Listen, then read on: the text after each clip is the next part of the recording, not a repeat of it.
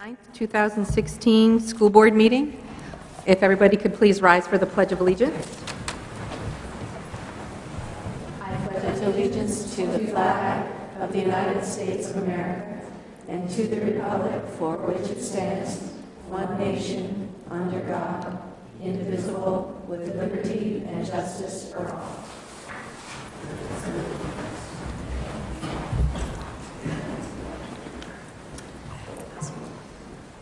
Item one on our agenda is adjustments to the agenda. Do we have any adjustments tonight? Seeing none, moving on to item two, approval of school board minutes. May I have a motion, please? I move that we approve the school board minutes, um, A, B, C, D, can I do that?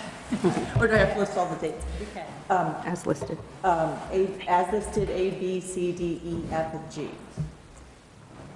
Second. All those in favor? Thank you. And item three, comments by student representatives. Hello, everyone. So it's been a pretty big month and a half. We've had um, a lot of students garner individual awards, and some of those being, we had a Congressional Art Award given to one of our students by Chellie Pingree. Um, Jazz Ensemble also took fourth place at the Berklee High School Jazz Festival.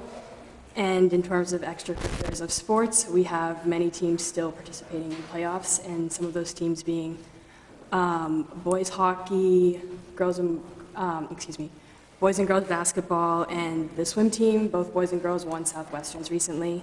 And the Western Maine Conference um, meet for track was postponed due to weather. And I know some students were disappointed about that because had they not qualified previously in other meets, it was potentially their last chance to qualify for states. Um, And then, in terms of other extracurriculars, we just had our Model United Nations team got back. They had a conference at Boston University this past weekend, and we had um, people win Best Position Paper, uh, Verbal Commendation, and um, Best Delegate Award, which I believe is the highest award that you can get at a Model United Nations conference. Not entirely positive, because I've never been to one, but that's, that's what I think.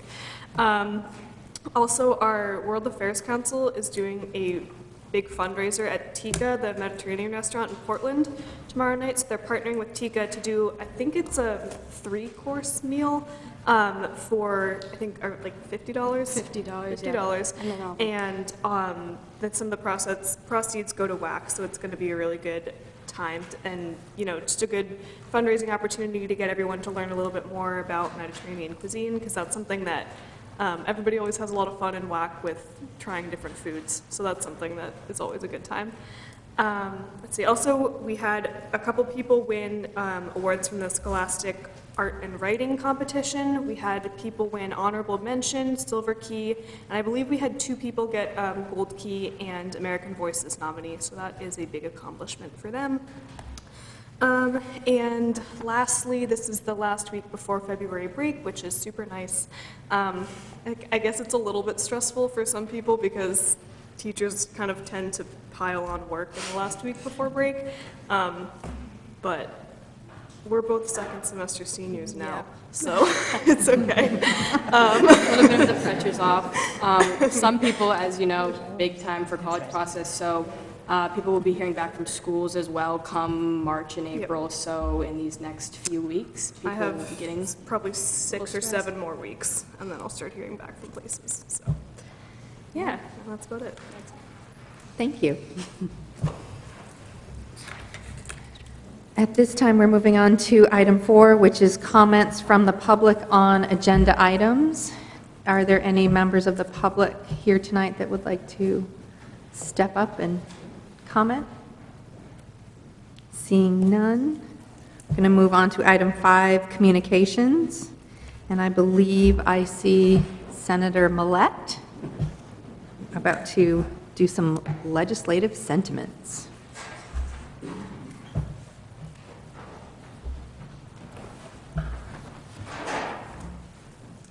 Good evening, everyone. It's great to see you here this evening. Um, After the student report, I believe I will be visiting you again sometime soon. It's really wonderful, the breadth and depth of all of the various programs that our students are involved in, and um, how wonderfully talented and hardworking they are. So my my early congratulations to all of those. So I'm here with a number of sentiments, and um, I think we'll start off with the high school golf team, and I believe they're here, if they'd like to join me.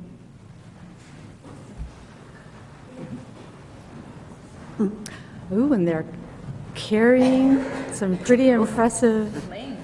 Wow, look at that. That's great. So we in the state legislature really uh, enjoy taking the opportunity to recognize the achievements of, of our citizens across the state of Maine, young and old. Um, but I think our favorite is when our youth um, have these special accomplishments. And so this evening, um, I have with me a legislative sentiment, and it says, "Be it known to all that we, the members of the Senate and House of Representatives, join in recognizing the Cape Elizabeth High School golf team of Cape Elizabeth, which won the 2015 Class B state championship.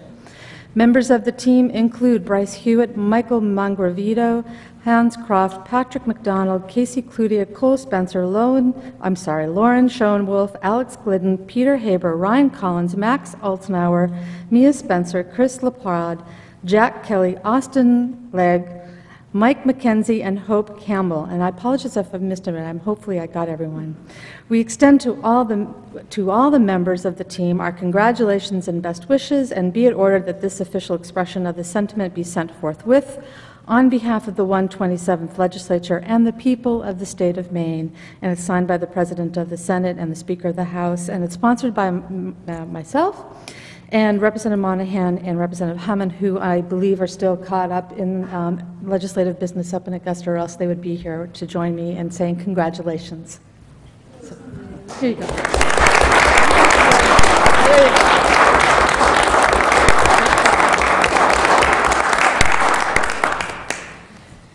Uh, Would the students like to say anything? Do you have any comments for us? Lauren does. Yeah. Oh, wait, there's a cord. Oh, yeah, we're good. Oh, yeah, there we go, okay. Um, our coach really wanted to be here this evening, but he has a newborn baby boy in Tampa, Florida.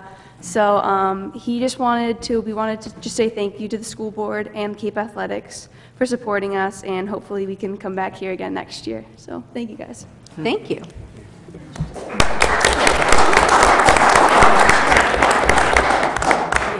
Thank you. Congratulations, everyone. And I have one more. And um, I I will spare you all the legislative ease for this, for this particular round, but um, we join in recognizing Ryan Collins of Cape Elizabeth, a student at Cape Elizabeth High School who won the 2015 State Class B Individual Golf Championship, together with another golfer in a tie. Is that correct? Yeah. Wow.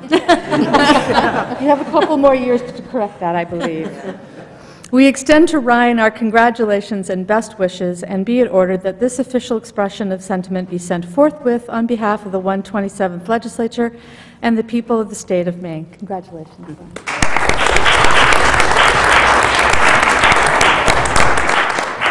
Yeah, like Lauren said, uh, I'd like to thank the school board for their support and also my teammates for their support throughout the entire season. Thank you. Congratulations.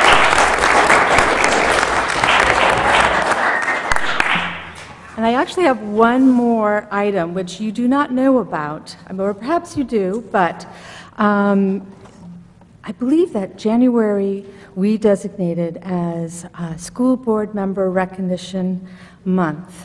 And it was a joint resolution that I sponsored and was co-sponsored by a whole list of legislators here. I've had that joint resolution printed out because I don't think we do enough to thank all of you for your service, your energy, your commitment, and your passion.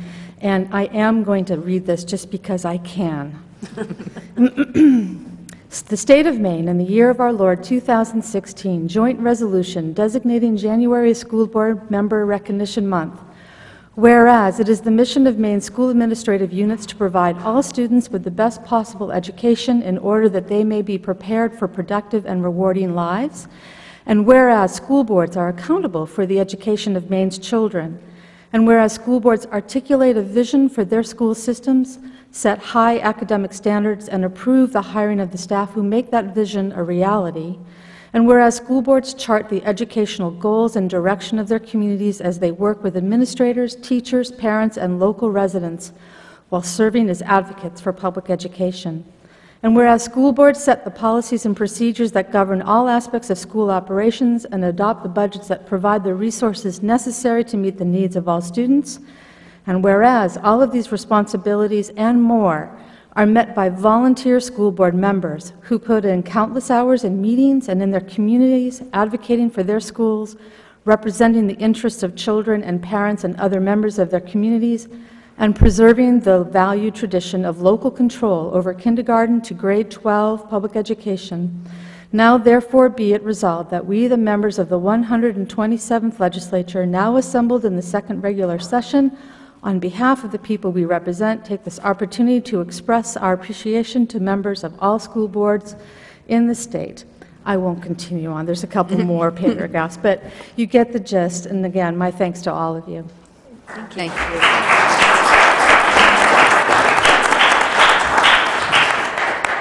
Thank you.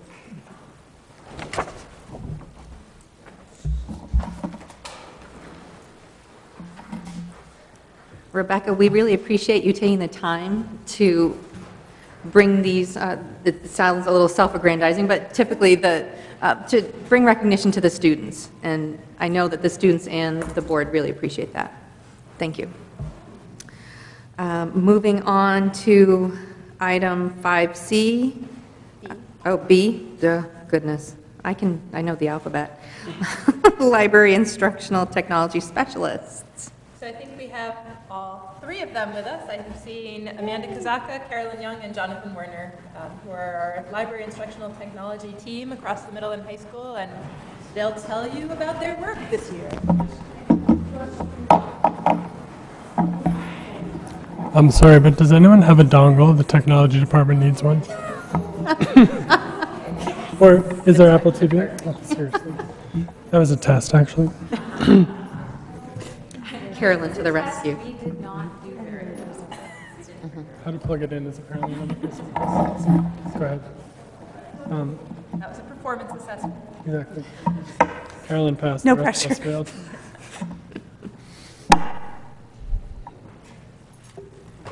Oh, you mean you want me to? I'll turn it on for you. Um, Video's right there.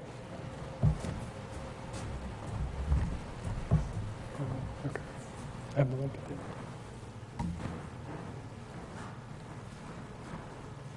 All right, well, we'll, while we wait for that to warm up, um, I'm Carolyn Young. I'm the Library and Instructional Technology Specialist at the high school. This is my third year um, working at the high school, and I'm really very happy to be there. And um, as Meredith said, this is Amanda Kozaka. She's a middle school library instructional technologist, and this is Jonathan Werner, and he is across both schools, um, part-time at the high school and part-time at, the- um, at the middle school. So there is our beautiful presentation. So I'm actually going to talk to you, we're going to keep it very brief and kind of give you a taste of what's happening in both schools right now and kind of across the schools. So this is a picture of um, what's on our website right now. This is our website header. And I'm going to talk to you guys a little bit about um, our website, which we like to call our Digital Library Learning Commons. And this is something that I actually take great, quite a bit of pride in because I spend a lot of time working on it.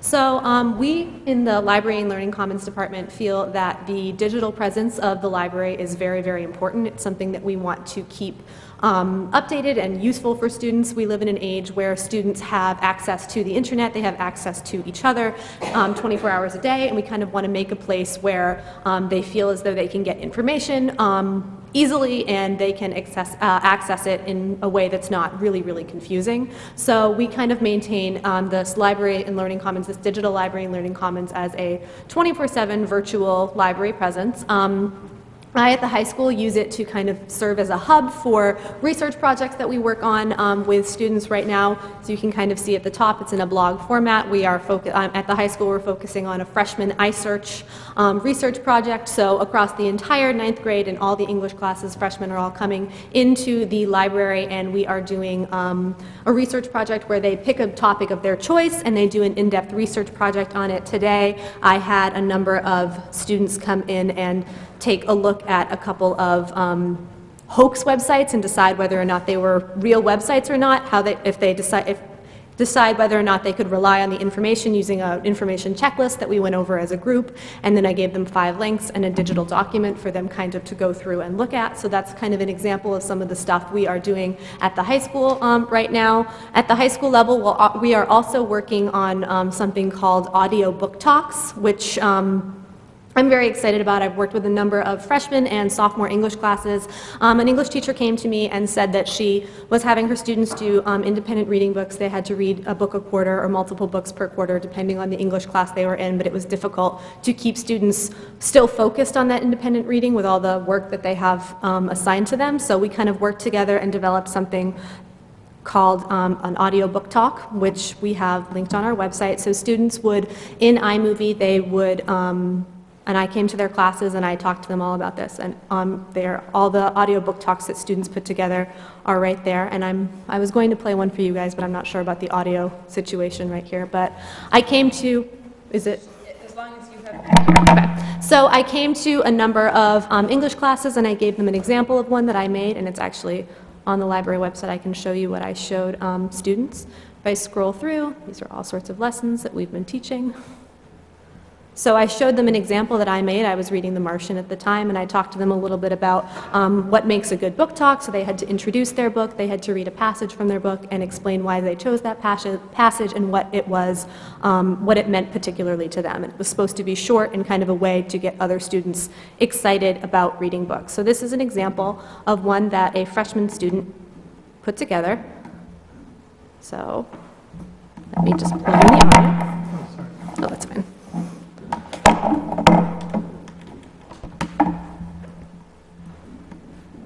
Two opposites coming together. So I'll start it over. Legend by Marie Lu is the exciting story of two opposites coming together. Told in two different perspectives, legend is set in future America where the United States as we know it has fallen apart. The country has split into three sects the Republic, the Patriots, and the colonies, which are all at constant war. June and Day are complete opposites.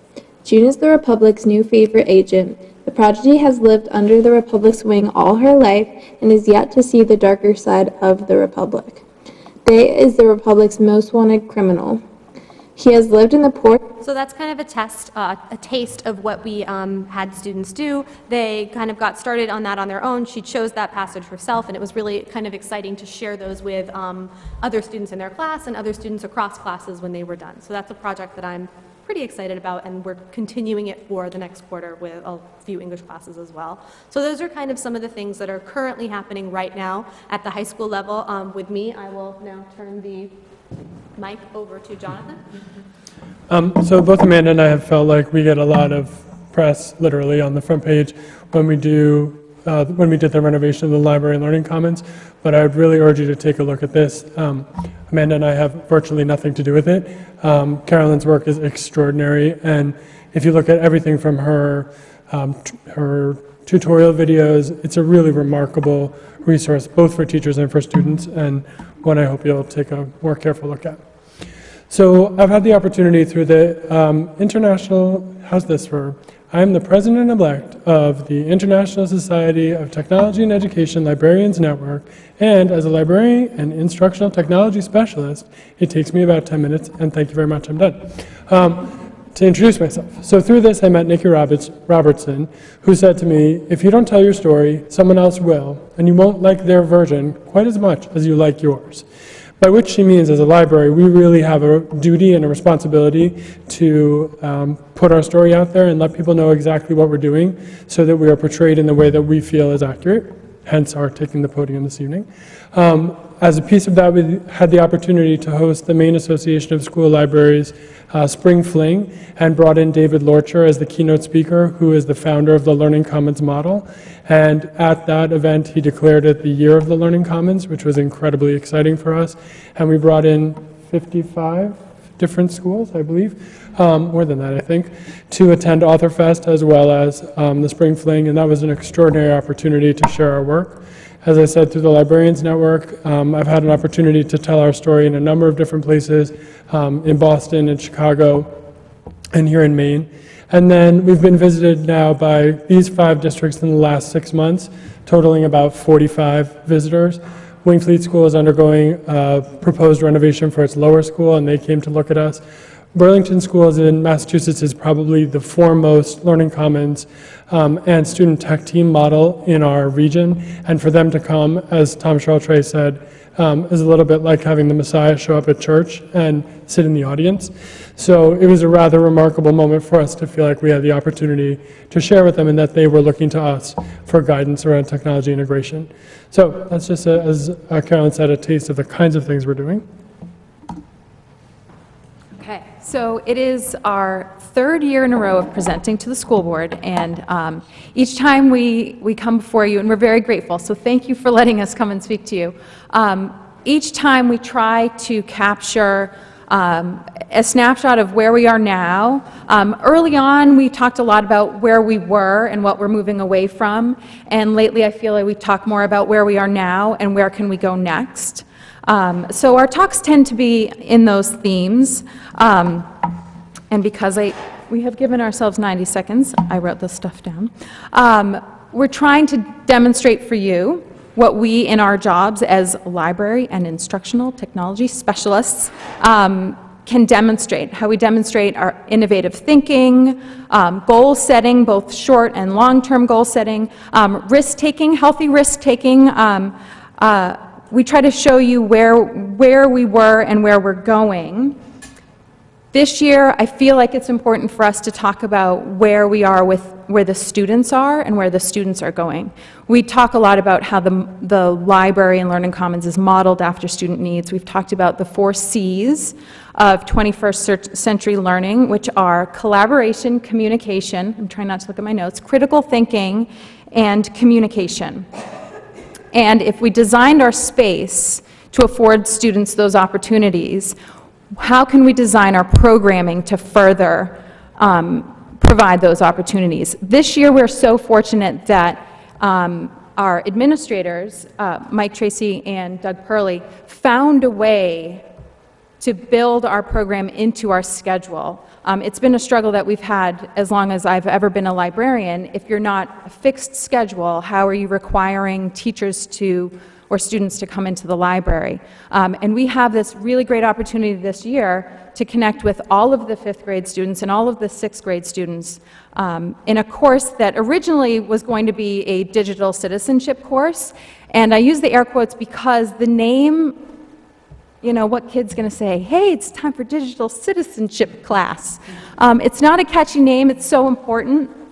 Um, but it originally started as we need to talk about this. We need to address the reality that digi- digital citizenship, and this, maybe this is why I didn't want to name it that, I can barely say it, um, it's not just something we have to talk about, my hands away. It's not just something we have to talk about, it's something that we really have to address and recognize as a set of skills and as a decision-making process that students and citizens need to learn.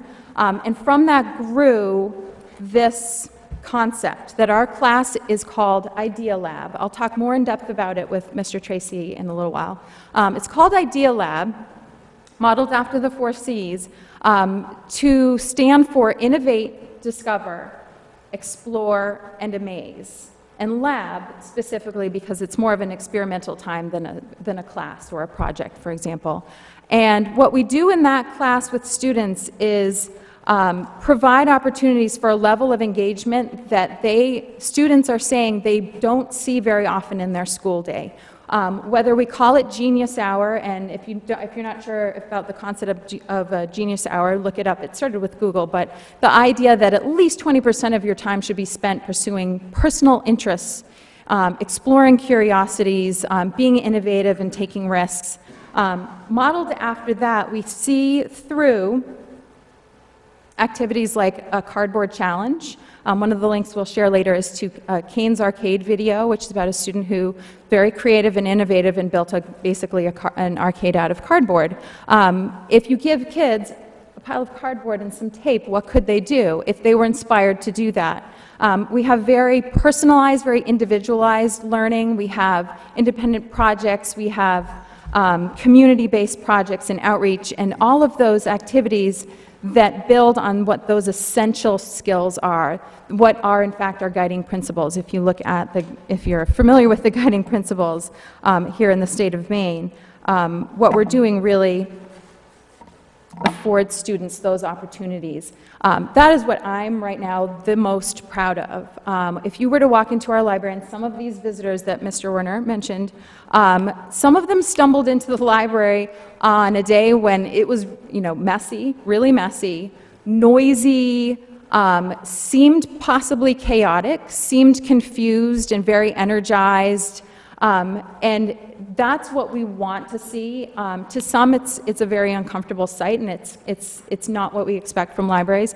But it's when I've seen, in all of my time working with students, when I've seen real, genuine engagement from students, and from that also see marked growth in their behavior and their attitudes towards school, in their willingness to take risks and problem solve.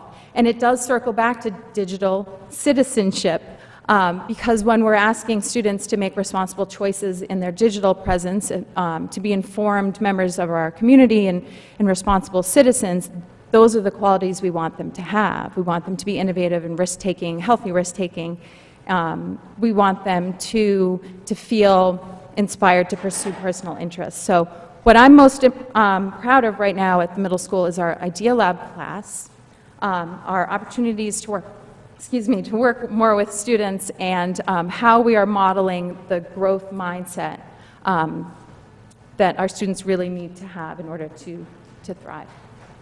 So we want to finish with um, an opportunity for questions from you, but um, for us looking ahead, two of the things we are really focused on are thinking about ways to develop a scope and sequence from K to 12 for both uh, digital citizenship and information literacy so that a student entering in kindergarten begins to develop a skill set that grows throughout their experience in the district. Um, Tom Charles-Trey has done a fantastic job doing that in the digital sphere and Cam Rosenblum in the uh, literacy and library skills sphere and already inheriting those students as fifth and sixth graders. Um, teachers in those teams have said they don't have to teach direct instruction around Google documents, for example, or Google Drive. Instead, they can just assume it's something that the students know. And um, if I can quote Kelly, she said in a meeting of the administrators that um, Tom has pretty much single-handedly transformed digital um, sensibility in that building and the way in which people assume it is a part of their day-to-day work. So I wanted to highlight both of their work as well, though they're not here this evening. So allowing us to expand on that with a cross-building department that allowed K through 12 conversations to take place and helped us work through um, my magnificent ability to straddle, straddle, straggle too, but straddle two buildings is really the only opportunity we have to carry between eighth and ninth grade. And Tom and I collaborate with our fourth and ninth grade E teams uh, to host events like the Google Apps for Families that's coming up and our most recent Coder Express. And to that end, seeing how it works to have one and a half of us in each building um, realizing that having two in each building would be very powerful in terms of providing tech integration, professional development, and the opportunity to co-teach. All three of us have some of our most rewarding moments when we're side by side with teachers. And at the moment, if I'm gone, Carolyn can't leave the room and vice versa with Amanda. So the ability to have that stationary and mobile person would be a pretty extraordinary development for us. So, what questions can we take from you? Is the, um, the Idea Lab, or is that daily, meet daily with each grade, fifth and sixth, or is that? How often do you? It works out, it works out to that. Uh, the way, it's a, it's a complicated way that it fits into the schedule because it's a three-week rotation. But in fifth, in fifth grade, over the course of three weeks, students will have um, five days worth of Idea Lab classes. They'll have five days worth of um, library time where they're generally looking, browsing books and, and having, um, having time in the library for that. And some work with Mr. Purley in the fifth grade, which is most akin to guidance lessons, I would say, and sort of builds on some of the Idea Lab concepts that, you know, the community mindedness. Um, sixth grade, it gets a little even more complicated, but trust me when I say over two week time, we have every class for five hours. It's tricky on a day-to-day basis, but essentially we do see students, um, originally, uh, this is our risk-taking and our flexibility here. The schedule at the beginning of the year has changed up until now without changing and influencing any teachers' schedules at all. We've adapted a bit. Um, fifth grade it's 20 minutes a day, sixth grade it's a full block over two weeks, whatever. Yeah. Thank you. Yeah, it's not, it's not every class every day, but we see every student a fair amount, a lot more than we used to, which is really what we're going for. And that's another example. I can't teach Idea Lab in the morning with fifth graders, so that would be a great opportunity for us to have that kind of Yeah. circular. Well, to see, to have, to work with students more often, Yeah. because really I work with them every three weeks for five days. I don't have a question, but I'd like to uh, comment that it's so uh, refreshing, um, your enthusiasm. I think I've uh, been fortunate enough to be here for your uh, three presentations, and I imagine if we feel your enthusiasm, students must really uh, draw on it as well. And uh, I will say, I wasn't on Twitter until someone told me to follow uh, Mr. Werner, and uh, I think in two days, I read uh, the record number of tweets. So, um, you know, thank you for putting yourself out there and for for your enthusiasm. Thank you. Thank you. We truly, we truly enjoy what we do. I mean, it's, it's so, so satisfying and fulfilling to have this kind of opportunity with students. And, um, yeah, we're grateful that we found a way to, to add it to their school day. So I don't really have a question either, but I have a comment to make as well. In terms of what you saw earlier with the high school page and the um, research, um, like websites, um, I would like to say that during sophomore year and junior year, we were required to both do um, a research, a long research project sophomore year, and then a policy paper junior year. I don't think I and many of the other students would have been able to get through um, gathering in all of our sources. And I can say that when I couldn't find like a credible source or couldn't necessarily find the author, Miss Young helped me out on that. And I just wanted to um, show that I was appreciative of her help and all of the resources in terms of like um, global CQ researcher and all of those um, databases we have access to. It's great to hear that you remember the name of a database after I told you. And um, we have your check for afterwards. Thank you very much. I mean, we would, for our research projects, we would go and we'd meet with Ms. Young and Mr. Werner, and they would, we'd have entire classes where they would just show us how to use um, a research database that they all seemed a little bit overwhelming at first because you don't realize how much information is out, uh, credible information is out there until you can get on one of those databases. Um, and like Montana said, I, especially sophomore year when I didn't really know what I was doing in terms of researching, um, I mean, that, that was really, really valuable for being able to actually complete the project in a satisfactory manner. Um, And being able to take those skills in terms of keywords to put in or how to narrow down your search has definitely helped because I've used it multiple times over the years, not just on big research projects, but if I was doing small, like in-class projects, I've been able to access the databases too. so.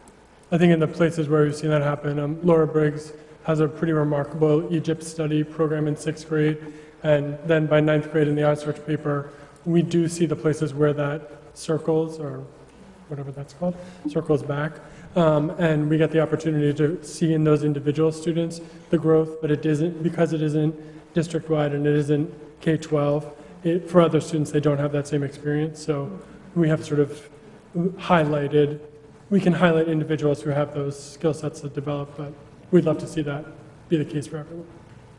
I Just want to call out one thing, which I was going to do in my superintendent's report, but since Jonathan is here, I just want to recognize Jonathan and Tom Shaltre, who worked collaboratively with administrators from South Portland and Old Orchard Beach recently to host a Saturday Ed Camp, which was attended by educators from all over Maine.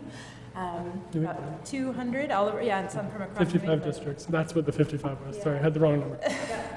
55 districts, so a really um, impressive model for collaboration and sharing of resources across districts, and they managed to have it totally free to educators, which is also a nice bonus. And additionally, um, some of our students were there, our the fourth grade E-team went to present um, about its work, and um, really well done, so we appreciate that. And Mike Muir, who's the, I don't know what his title is, High Muck of, yes, of technology for the state, was one of the keynote speakers, as well as two from other states and Apple Distinguished Educator. So it was really remarkable to see their interest. Obviously, we weren't paying them since it was free. Um, the, their willingness to come and speak was a testament to, to people's excitement about their own professional development, like the Maslow Conference as well. That people are just looking thirsty for ways to, to grow professionally. Thank you very much. We'd be happy to take other questions via email or face-to-face. Come visit us anytime. Thank you. Thank you. Thank you. Thank you. Same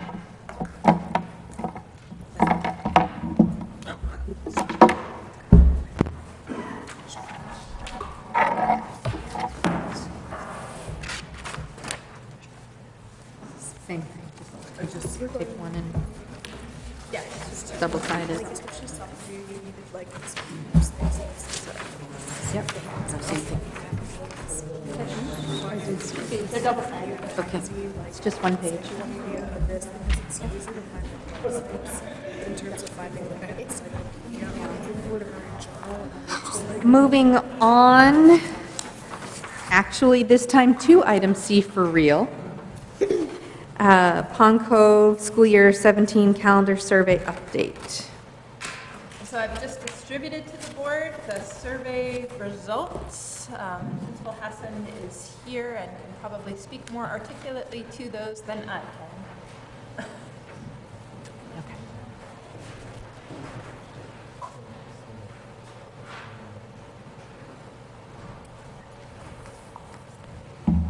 So, good evening, and I'm probably going to wear these to see my writing. And um, so, I wanted to talk to you about. Actually, I can't see you, so I wanted to talk to you um, about the survey results, but also to give you some background information. Um, you received them today. I apologize for the um, lateness of them. We intended to get the survey out earlier. Had some tech glitches, but um, with our thanks to our tech team, um, they got things up for us. And as you can see by the survey results, there is an overwhelming preference for parents to, to remain at the five early release days versus the seven early release days, really almost by a two to one margin. Um, and then when we looked at, we asked what if they would take advantage of um, offerings by community services. Um, there was only uh, almost uh, close to 23% said they would, and um, around 77% said it was unlikely.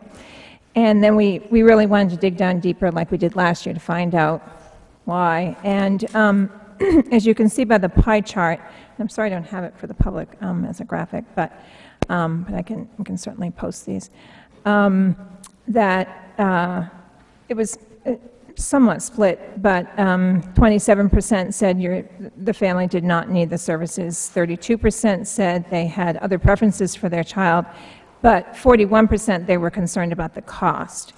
And um, so, to that end, I mean, we really feel these, these days are really critical to our professional development. And I think in the climate right now, the- of the budget climate, with this proposed $1 million reduction from the state, we are envisioning that our professional develop, professional, professional development funds, funding will be decreased significantly. Um, And, and that typically is when they do their summer work. So that's when they're, they're paid extra, when, what, what we dole out for, to- for them to attend workshops.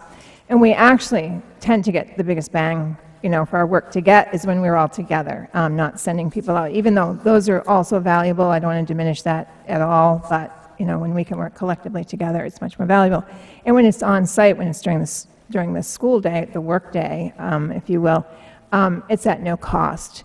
But it is at a cost to families that this has an impact on, and we also recognize that. So I've spoke to my colleague, um, Principal Shedd, um, to see if what the likelihood could be for next year if we were able to um, still continue with early release days, if we could have like a, um, a service-oriented um, work for, um, or volunteerism for high school students to come up um, to Pond Cove on-site.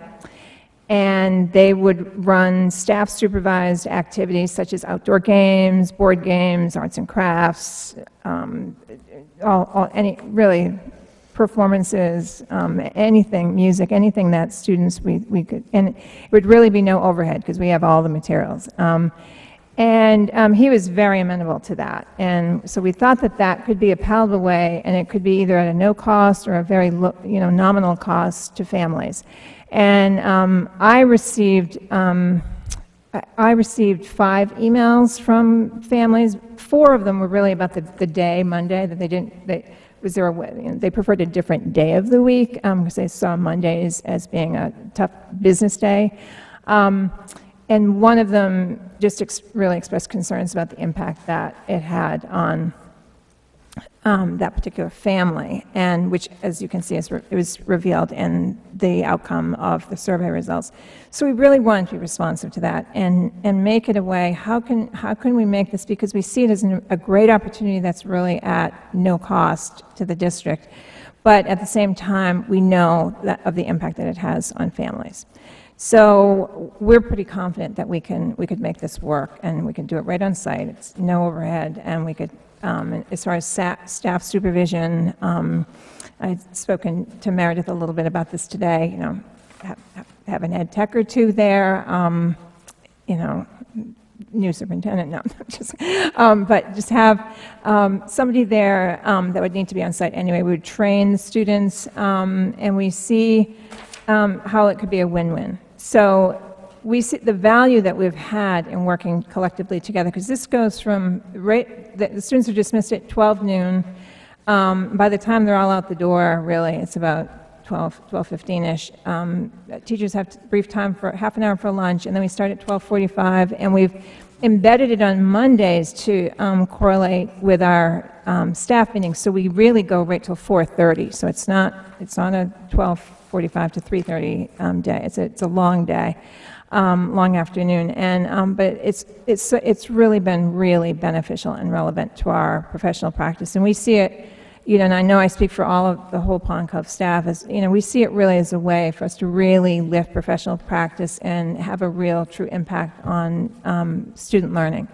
So I present that information to you. You have, you know, the figures from, from the, um, the survey, and it was sent out to all K-4 families and on the snow day, actually, um, through yesterday, through, through, um, through yes, late last night, midnight. Um, We received 134 responses, and that's, you know, obviously from a large population um, of folks who who hadn't responded, but, um, so just, you know, questions do you have? And we, we did, you know, recognize, I I did talk to staff, I said it really looks like, you know, the preference would be five, not seven, and they really would just, would just be grateful even just for the five. And we looked at, okay, so if we could pick which five, what would, what would be, and then in going back to um, what um, Board Member Power said about looking at the number of days in a week and how many does that impact, we, we, I think you have those dates um, in front of you, but just for the public's sake, it was, um, um, the first one would be, Aug- uh, no, September 19th, um, which we, was around the same time we had it this year. And um, this year, we kicked it off with culture and climate, which was very timely. It was really good, you know, it was, it was once the students, teachers met their students and really got to know them and, you know, better. And um, so we didn't want to start it right off the bat, so we did that. Um, And then um, we would skip October because we have a, we have a professional development day in October anyway. Um, And then we would use, we would skip November because we have some days in that we have, um, we have vet- the Veterans Day holiday, and we also have the Thanksgiving break. But then we would um, go to the first week of December, well, December 5th, and then we would go in at the end of January, January 30th, and then skip February and go to um, March 6th, and then um, we decided um, wrapping up March 8th would be the best for us. So we just, we determined those would be the best days strategically for us on the calendar and what worked and around um, the other things that were going on um, for the school and in the district. So Kelly, just to clarify, I think you said March 8th, but you meant May 8th?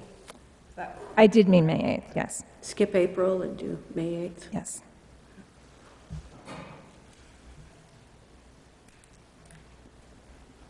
So questions, I'm sure you have some. So maybe it's just bad math. Are are you saying skip the May 8th? No, that was me. Um, I had, no, May, we would have May 8th. So we would have September 19th, December 5th, January 30th, March 6th, and May 8th. And we saw, we saw either there were going to be the impact of vacation time in February and April, and also some professional development time in, in parent conferences in October, and the holidays, um, the holiday, extended holiday time in November as being, not being the best times um, to have those days, so that we could have um, more continuous learning um, without interruption of inst- full-day instruction. Um, Ke- Hi, Kelly. Uh, It was about this time last year that we were talking about the calendar for FY '16, and, um, and one of the, one of the concerns that several board members had was, you know, how, among some other concerns about splitting up the district K-12 to like only having Pond Cove have half-days I remember that. um, you know, how this would impact families and, and what's their impression and their opinion. And um, I believe that we were hoping to get responses, um, you know, that, that were timely um, and maybe even had an option of how they felt about the half-days period versus five versus seven.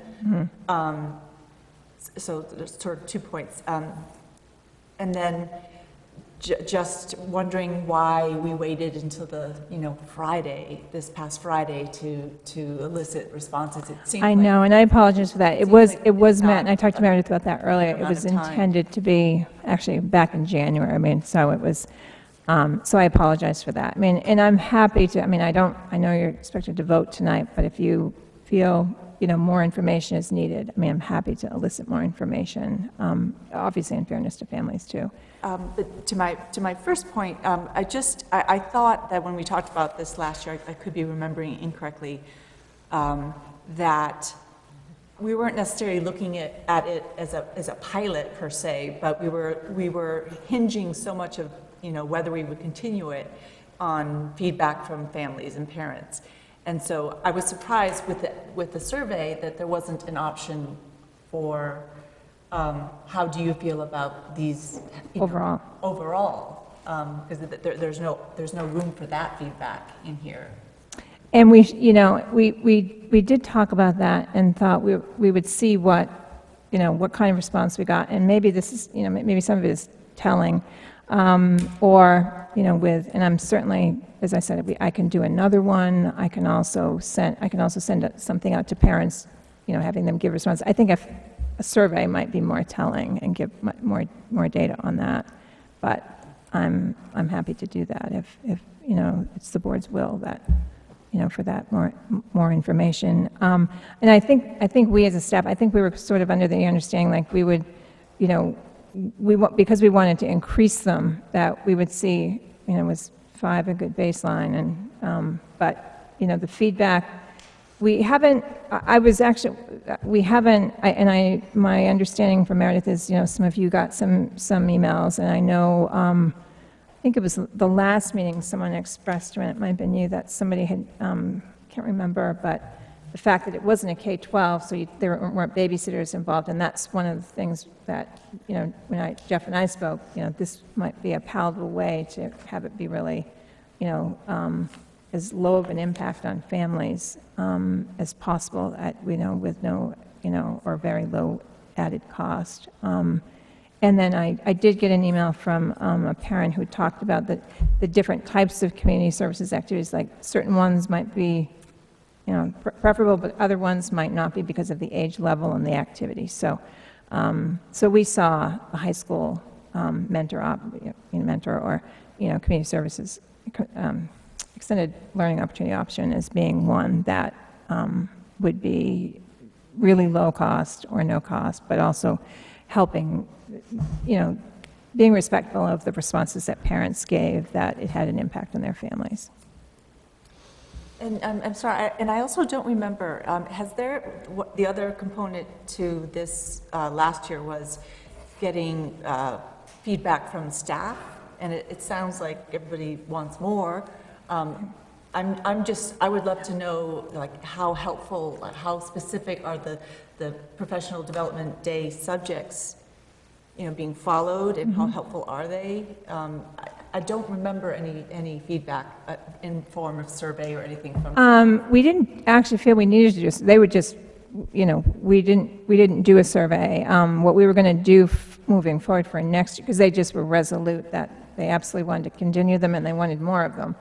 And so, I mean, if they had a choice, they would have one, you know, every month. Um, But I think, um, I mean, as far as like what the specific dates were allocated for, um, for the most part, we've kept to that. We've had to change, you know, a couple, actually swap, swap what the topics were, but each one has been really, really valuable. And my, when I speak briefly about, um, you know, when the principals speak a little bit later, um, when I speak briefly, I'm going to talk about what we're actually doing on our next um, early release day, which is on March 7th.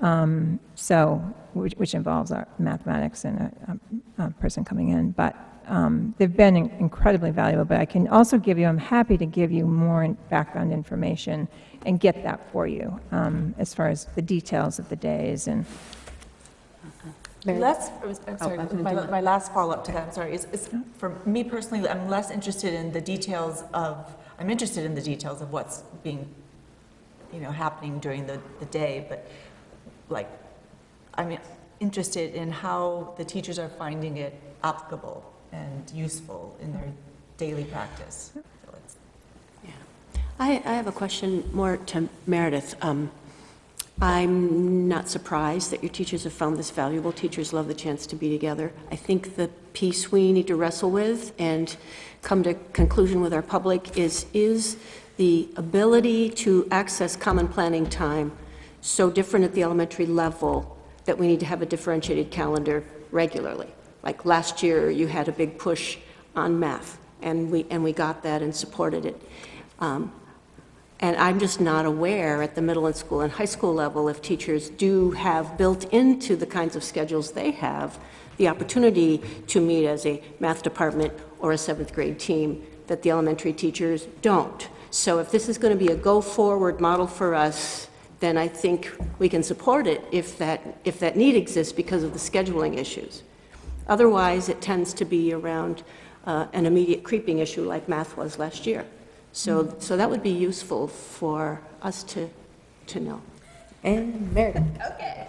Um, So, uh, you know, certainly, uh, you know, I think we've acknowledged, I don't think the timing of the survey may have been ideal. I- Ideally, we would have sent that out a little bit earlier. Um, And we certainly, if the board wants some additional information about the efficacy of those days from a parental perspective, um, we can gather that additional information. The board doesn't have to adopt the calendar tonight.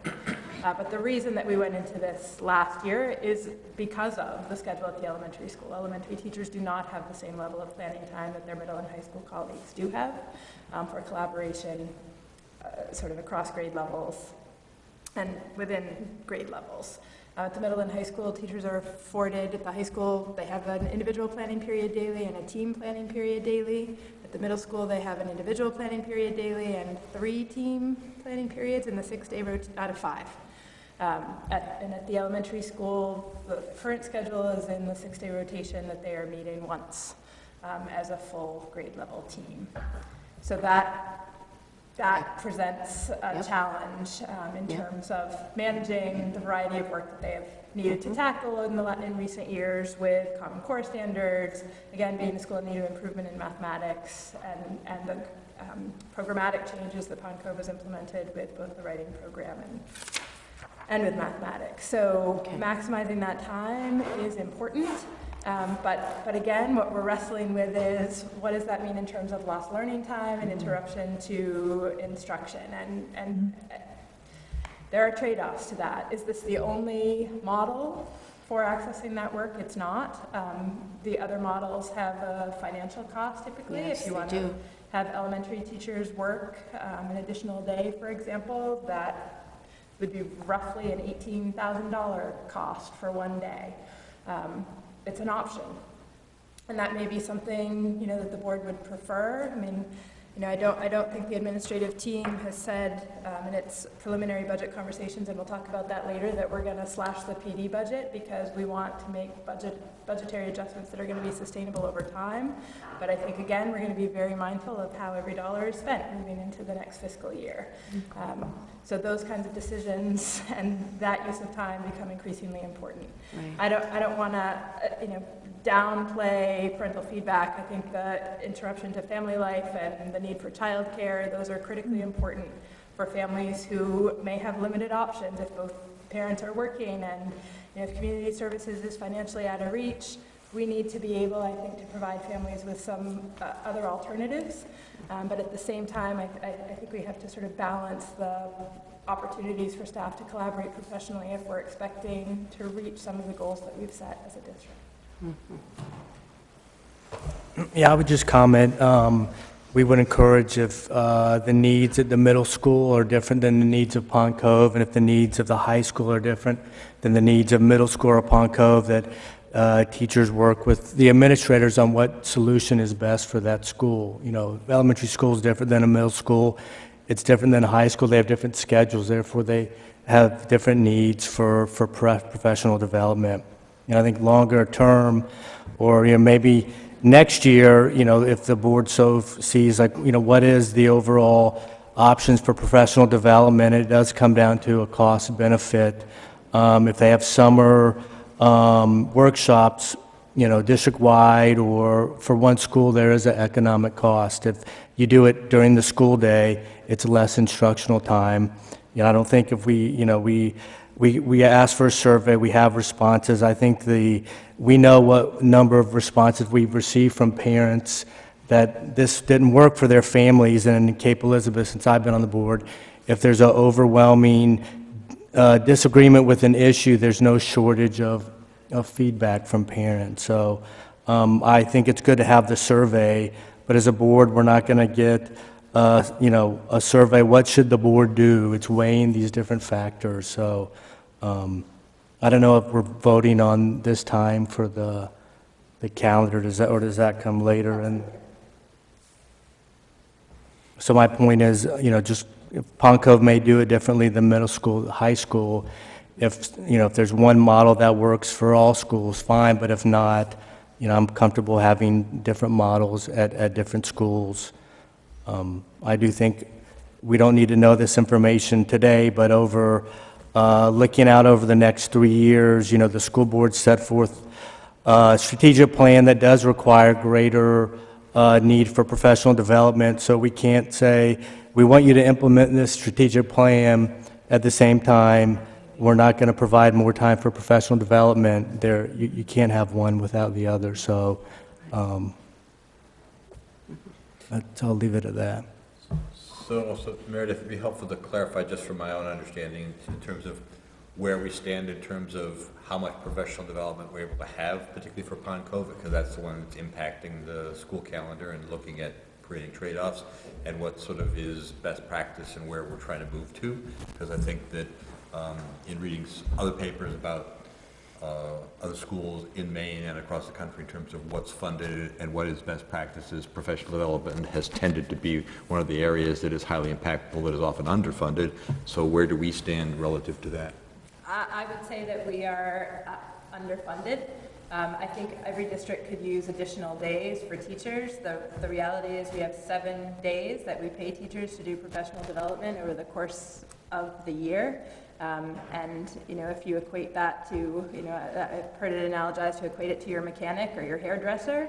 Um, you know, not that their work is unimportant, it's certainly important, but to stay up to date on the skills, often they're getting five to 10 days a year or more um, to stay current in their field. And, and yet we give educators who are entrusted with the education of our children seven days over the course of a year. Um, right now, those are chunked up. Some of the three of those days are chunked up into Monday afternoons for an hour and a half at a time, which lends itself to some work um, and sort of team collaborative work, but doesn't lend itself to in-depth exploration of a topic. Um, because of all of the additional requirements that we've had to manage over the last couple of years, such as teacher evaluation, which took up a couple of the days that we've had available to us this year, um, as well as changing state standards. Um, those days have been, um, there haven't been enough of them to cover all of the things that we need to cover. And you do, you do make up those costs one way or another, right? You, may, you pay for it by not doing as well on a standardized assessment because teachers haven't had time to really wrestle with the standards and make the curricular changes that they need to make. You pay for it in, um, in this case, you know, lost sort of instructional time to do that work. So there are trade-offs, but I would say that we are underfunded, but everyone else is too. Well, I'm mostly concerned about I know us and how. So am I. And so, in- but in making those trade-offs, we're looking for the ones that are the most impactful. And so that's why it was relevant to, to understand where we stood to what the impactfulness of that is. So, um, and then another question back to you. So it sounds like what you're actually saying is in terms of some of the early release days, you have a potential that you're developing so that you can handle the professional development needs, but not actually change the calendar for the early release. Is that accurate? Or less, change it less? So I. In terms of working with the high school, or? So I think that it would still be early release. What she's, the proposal that Kelly and Jeff have briefly discussed is providing alternative childcare opportunities So for it's an optional continuation of the existing calendar, or an optional? Yes, but it wouldn't Wouldn't be be regular instructional. instruction with Right, the right, right, I classes. understand. But m- most of the issue was, a- that I saw was around timing. There was some that had to do with instruction time, but that's, again, that's the impactfulness trade-off versus the calendar trade-off. So this So- sounds like we're able to minimize some of the, the calendar impact trade-off. Potentially some of the impact to, f- I would characterize it as the impact to families around needing to find alternative child childcare.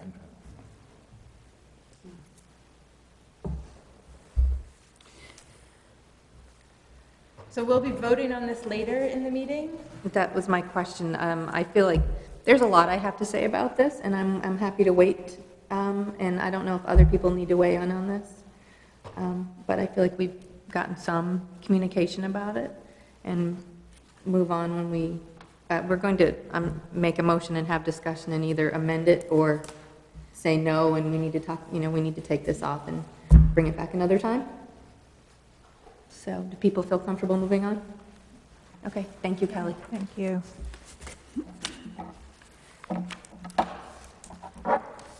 So on to item D, Administrator's Strategic Plan Updates. And it's like they're flipping coins out there to see who. Good evening, everyone. I'm going to capitalize on, on having um, Jonathan and Amanda here, um, and I thank you for staying a bit, a bit longer than perhaps you, you had intended. But I did want to talk about technology tonight and uh, integration of technology and whether integration is the right word or we're talking about immersion in technology, learning with technology or learning through technology. Um, although they're, they're words, I think they have different connotations for how we're looking to um, utilize technology.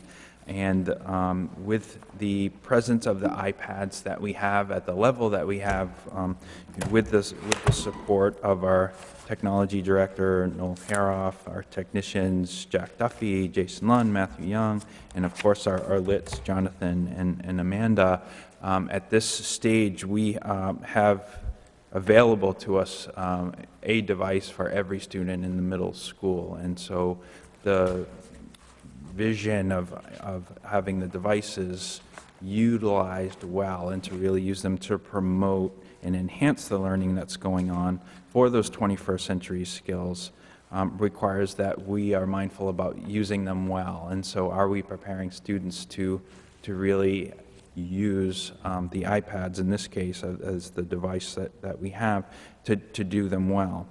Um, What you heard a little bit about was the Idea Lab, and we'll, we'll get to that in just a little more detail in a minute, but really this focus on how can we develop the technology proficiencies in our students um, using these iPads, and so far, we're starting to already see an increase in fifth and sixth grades in requests to um, have the Apple TVs so students can showcase their work in the classrooms. So we've um, adding um, more of those devices to the to the fifth grade on request, and our sixth grade science teachers have already asked for those devices in addition to explain everything apps as well as, as notability. So um, having the having the iPads and having teachers request these things, but also seeking the support um, and and professional development around how can we use this to enrich our learning is and teaching is where where our lits do come in.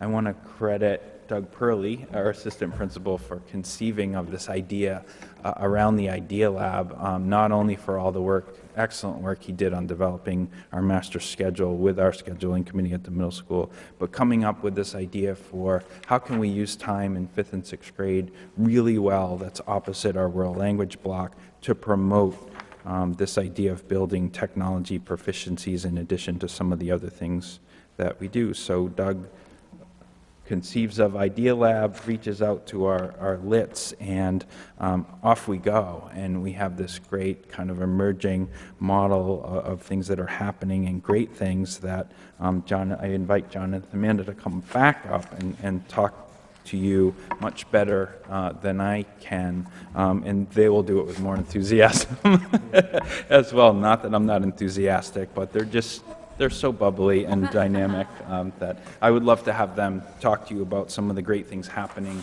in fifth and sixth grade Idea Labs. So thank you. Um, So we try to collect data um, frequently about the work that students are doing, so I just pulled together uh, a snapshot from today's, but we use a form through Google Forms, and um, this will show you a snapshot of what was happening today in Idea Lab. Um, The first will show you the project categories that we suggested um, to all students as they began to tell us the kinds of work they wanted to do. And then the next one will show you within that, those that have selected independent projects, what they want to do. And then finally, um, if they're working on A, what else they've been working on recently. So this is, not yet, project categories, there it is. So this is the kind of things they were doing. Um, Amanda mentioned the cardboard challenge. Um, we're working on decoration around things like student projects, and many of these will overlap. Um, murals and, and painting in the building that represent um, activities that are going on. Uh, digital citizenship work. A lot of students really interested in cyberbullying, um, and I'll show you an example of that in just a second. Or preventing Yes, cyberbullying. They're not interested in it. Um, displays and posters throughout the building. And then of the last one, independent projects. Um, we have these students who are working on a hopscotch app, video, um, writing, and then you can see also the book projects, um, something we call shelfies, where the students will take a picture of themselves with the book they're reading, and then um, put kind of a thought bubble over their head to give us a recommendation that um, their other students can see what they're reading. Um, and also book trailers like what um, Carolyn discussed at the high school. And then this will give you a sense too of the other work they're doing. So if they've declared today that they're doing A, these are the other things they're working on. So hopefully that gives you something a little more concrete. Um, Amanda said, you know, we're working with their, we're trying to follow their inspiration as much as possible, but um, we've also tried to give them some more structure as we discover sometimes sixth graders need a little more focus than we might have otherwise imagined. Right. Um, so this has been our attempt to kind of give a little more um, direction to and circumscribe some of that work so we know what exactly they're doing. So these are examples of what the students work on. Um, But again, going back to some of the bigger themes that we've been fortunate enough to talk to seventh and eighth graders a little bit more about this year as well. Um, Again, the guiding principles. It's- In the seventh grade, we have the CAPER Award that you probably remember.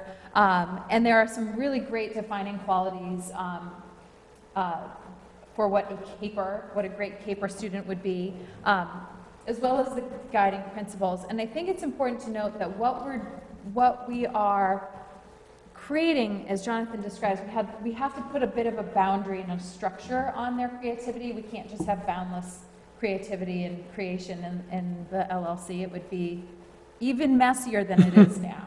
Um, so we have to put some structure to it, and when we think about how that, what they're doing fits into some categories and um, what, what they're really experiencing and um, developing are related to communication and collaboration. Most definitely. They work together, they work independently, they change, they change their groupings, and they're able to share work.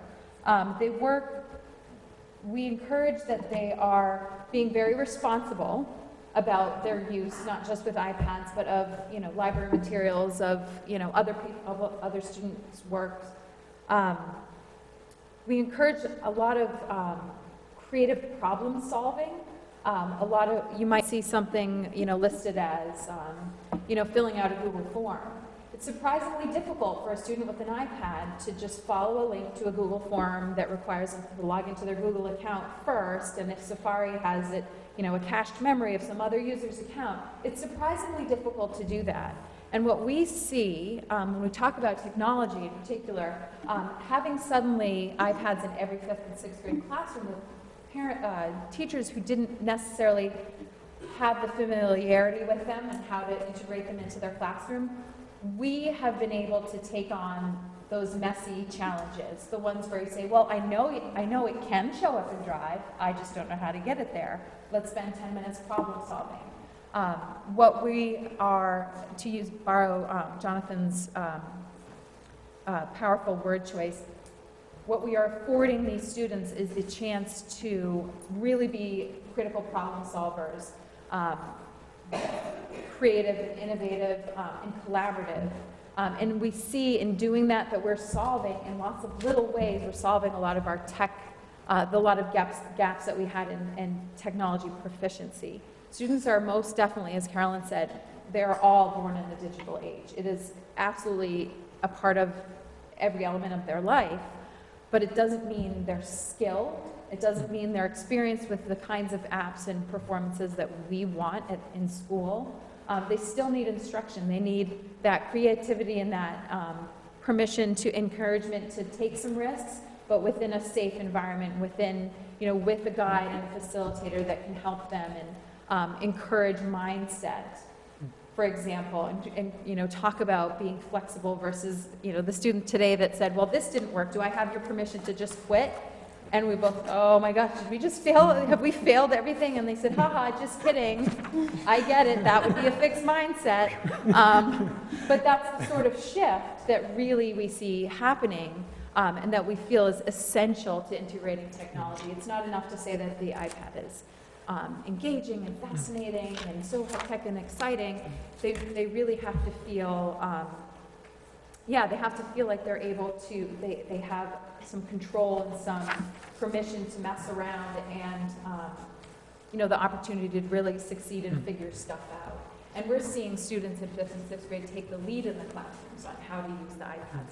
I was going to say to that end, um, so Mike doesn't regret giving us the mic, I'll show you three more things. This is the form that you just saw the results from, designed by students in Idea Lab. We put out the problem, we need to track the work you're doing. This group of seven students over the course of a week and a half figured out how to use the laptops to create the form, how to collect the data over and over again. That's not what I meant. Layered survey with like, you know, subpages and subpages. And watching them, it was like, I wish I, we had videoed, videoed it. Um, no, that's not what I meant. Do this, and they go back and they're working in Google Forms. You can collaborate to do it. So there are multiple computers doing this simultaneously, and it was really exciting to see. We also haven't mentioned, uh, also through some pretty wonderful support from the seventh grade team, because the seventh grade students are asked to present at their parent conferences with portfolios, we've had the opportunity to see, and this is a very extended rotation, but every Tuesday we see two of the advisory groups, and that's allowed us to talk about how our sensibility about portfolios maps onto the main guiding principles and how they can begin to collect information that would be helpful to share not just with their parents, but as we look at um, standards and proficiency-based grading, what is it going to look like to demonstrate your growth? And I give them the example that it's not a very exciting um, time-lapse photog- uh, film to see the seed and the full plant, that we want to see those steps along the way. And please, please, please do not delete your drafts. We want to see how you're growing as a student. And then finally, um, we talked briefly about Twitter, which I'm infamous for. But um, I had the opportunity to work with a group of people who, um, and Mike may mention this, as we developed uh, the Makerspace in response to this amazing support from the CEF grant, I put out these ideas about what we were proposing to my PLN, my Professional Learning Network, and um, gave them some ideas about the kinds of things we wanted to do in there. And in response, put together um, a feedback document, and this probably doesn't mean too much until you get down far enough. So these are people in my PLN commenting on our proposed plan, and then this, which is Maker Education International, commenting on our Makerspace proposal. Even I was astounded that they were weighing in on this, but because I had infamously hashtag Makerspaces, put that in, it was picked up by a number of different people, and we have over two dozen comments here helping us understand how we might refine our work, um, and really lovely comments as, as well, saying, you know, I really think your planning is fantastic, and this opportunity now to create a locus, a second locus for that kind of creativity. I think it's possible Amanda mentioned communication twice. Um, that the creativity piece of it is really, we're hoping will be afforded by that new space, which we're in the process of pulling together, and Laura Ellis has been fantastic in helping us do that. Excellent. Thank you. Thank you both. I think the last point I would just want to make is the power that we're seeing of um, wondering, thinking of why not, but putting problems out to students and then getting out of their way and just continually being amazed with what they do and what they come up with when they're not waiting for us or being held back or necessarily um, guiding themselves within a structure. We're saying, here's what we want to try to figure out, we're wondering about, and then we get out of their way. And having the support of, of great people with great knowledge, and um, really, I think we're seeing really engaged, lively, um, pretty fired up students about what they're doing. So that's our our presentation on technology. So, questions? Integrating technology. We're going outside of- Barbara? Um, Just a quick question, Mike, and having been able to hear an enthusiastic presentation twice now, my time on the board, my, um, it's all incredibly exciting what's happening in the Library Learning Commons, but talk to us a little bit about the impact of this work on the rest of the school. And I'm hearing seventh grade team ask for help with portfolios, but I'm not hearing English department is, in, is now engaged in some of these different strategies, or the social studies have found different ways to. So, so how, how is this impacting the school as a whole in terms of student engagement and bringing some of this energy into other classrooms we're not hearing about? I think it's it's really about uh, with the reconceptualization of, of you know a library to a learning commons, helping people to understand how our lits are a resource and the kinds of things that they can help you with. So it's um, no longer are we looking as, as a time where you just bring your class to the LLC and Jonathan and Amanda can do a presentation on a topic of interest and, and that's always available. What we're seeing is more and more teachers reaching out saying, here's what we're learning about, here are the standards, um, here's what we're trying to accomplish.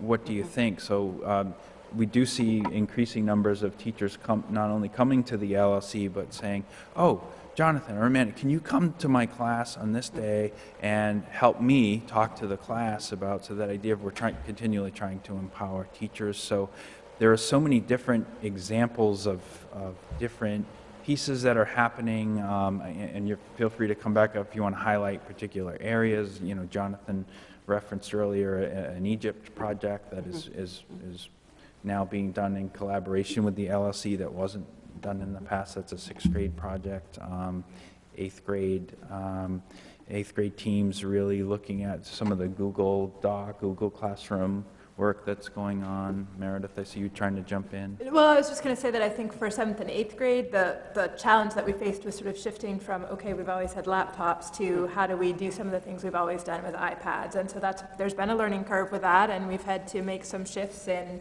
tools that we're using. Um, students, I think, have adapted relatively quickly to that.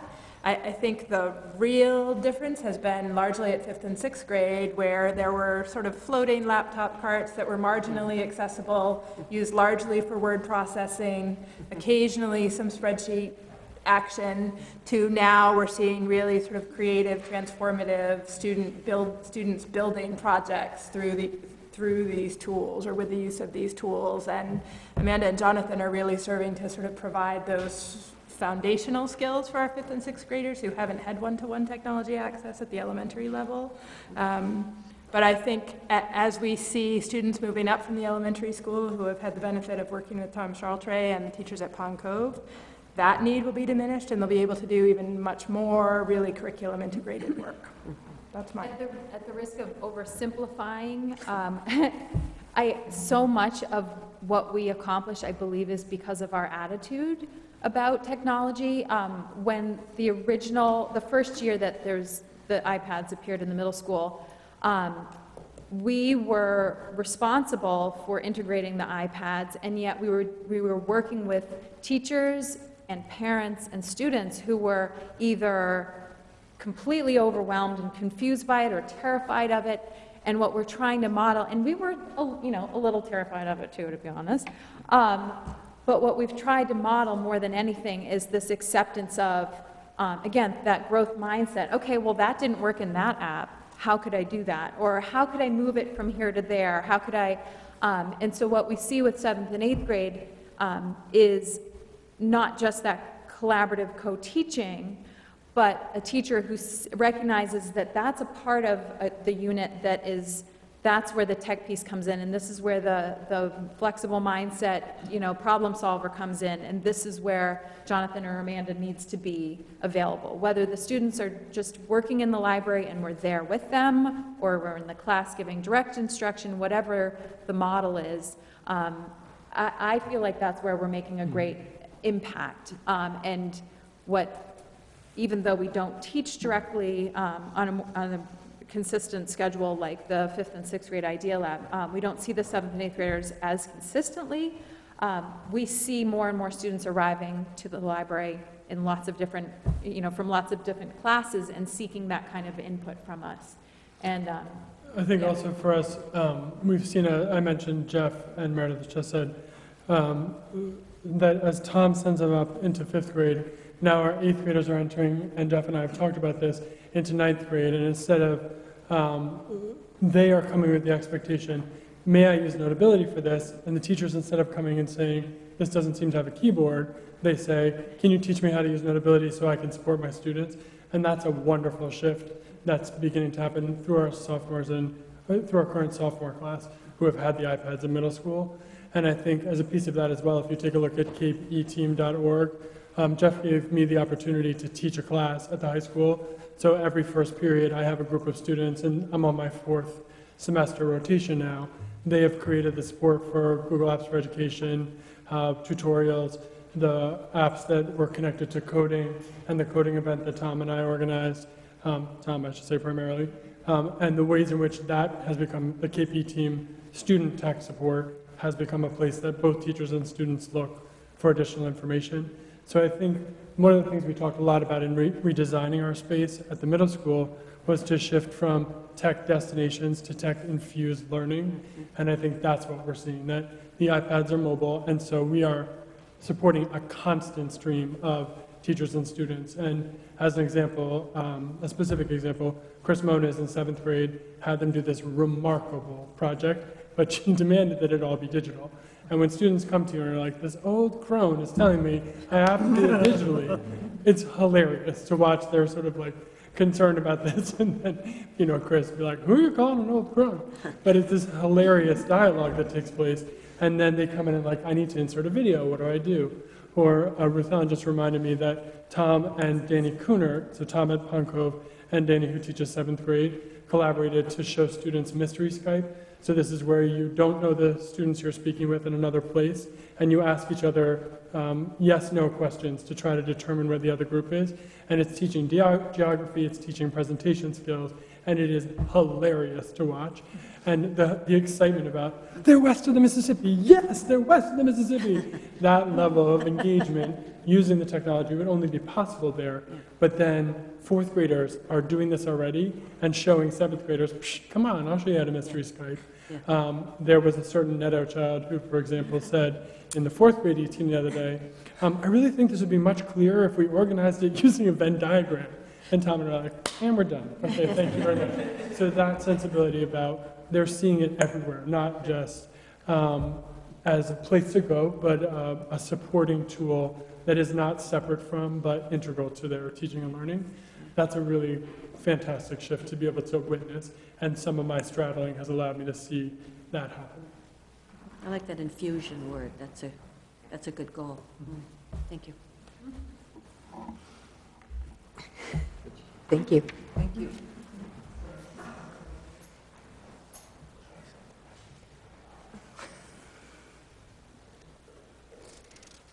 And next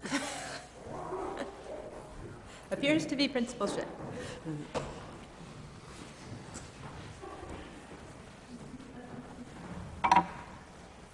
So I'll try to keep somewhat close to the energy level of um, Jonathan and Amanda, uh, but on a somewhat drier topic, um, although exciting if you look at it through the right lens. So this is the NEASC visit, um, which is happening from March 13th to March 16th. Um, So,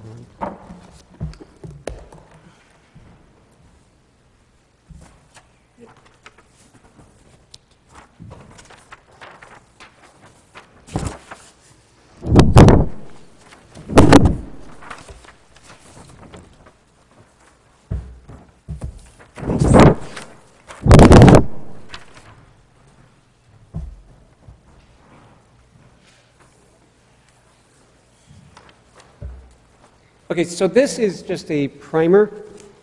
Um, Most of you have probably not been through this process before. Elizabeth may have been in her other, uh, other aspects of her educational career. But, um, so, so I thought I would just lay out some really basic things. First of all, NEASC is our accreditation agency. It accredits universities, colleges, private schools, public schools throughout New England, um, and it has been doing, doing so for a long time. It's based in Massachusetts. And every one of its accreditation commissions has a set of standards.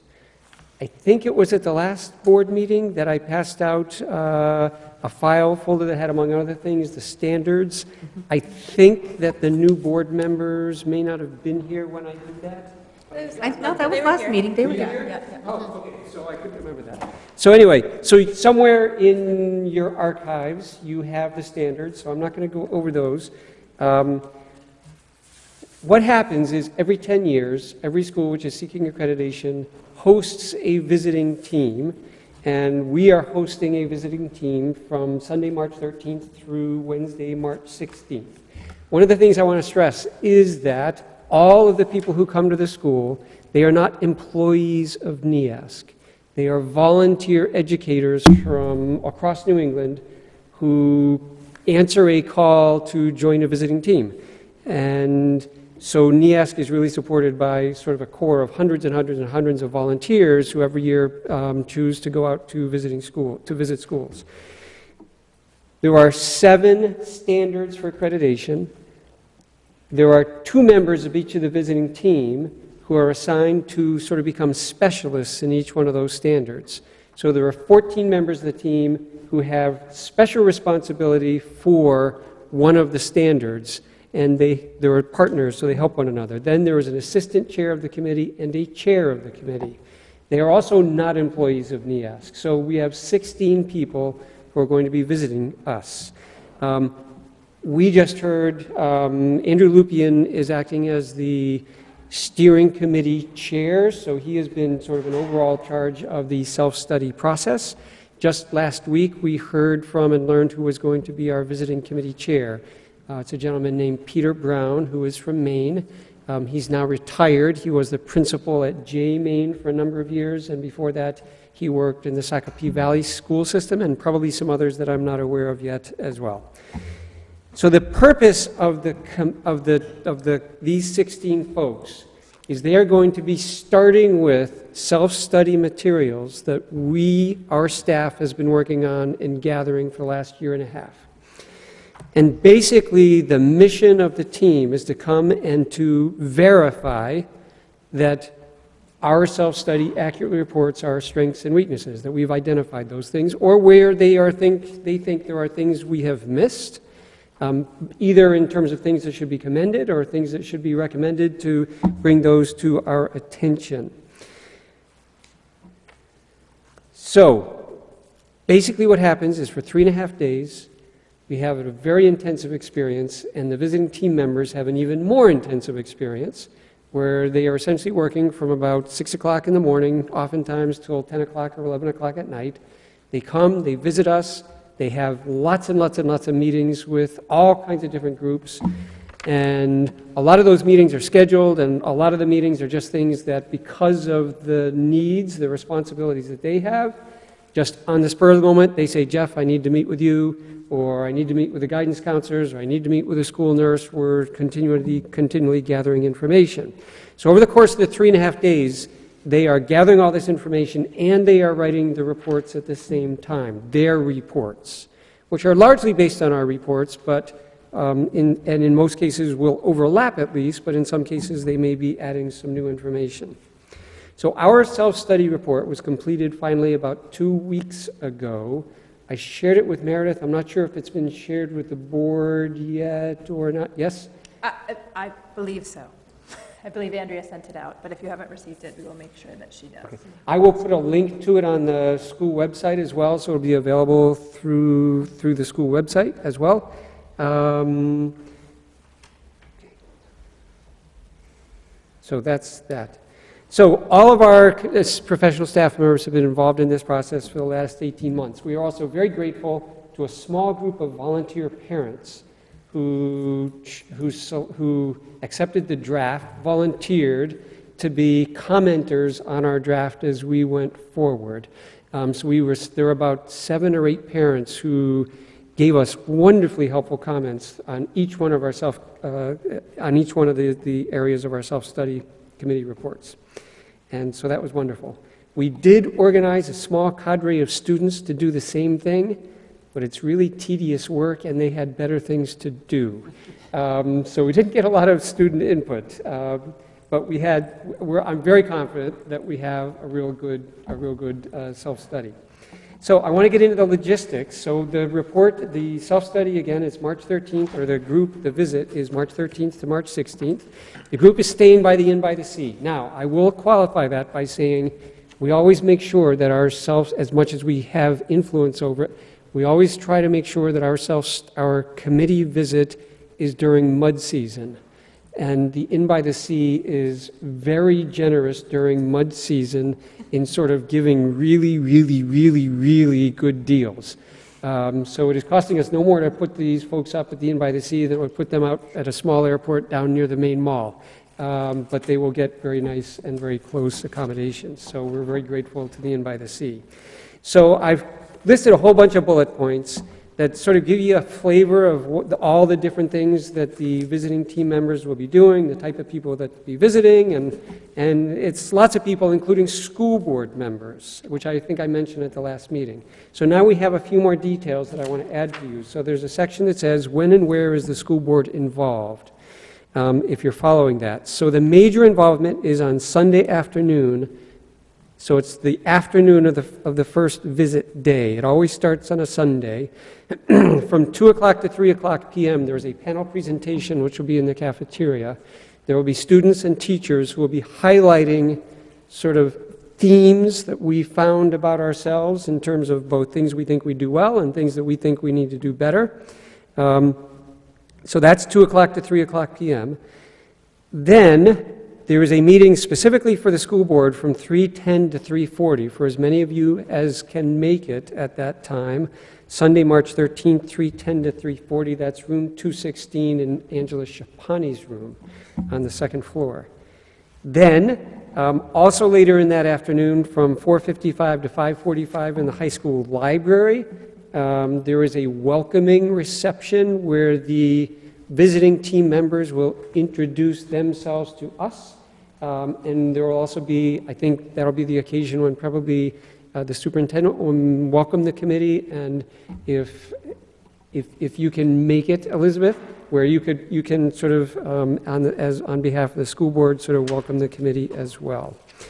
Then on March, on Wednesday, March 16th, the very last thing before the visiting team members depart, after three and a half intensive days at the high school, um, is the, the chair, Mr. Brown, will give some very brief overview remarks. That's going to be happening in the high school library from 2:30 to 2:45.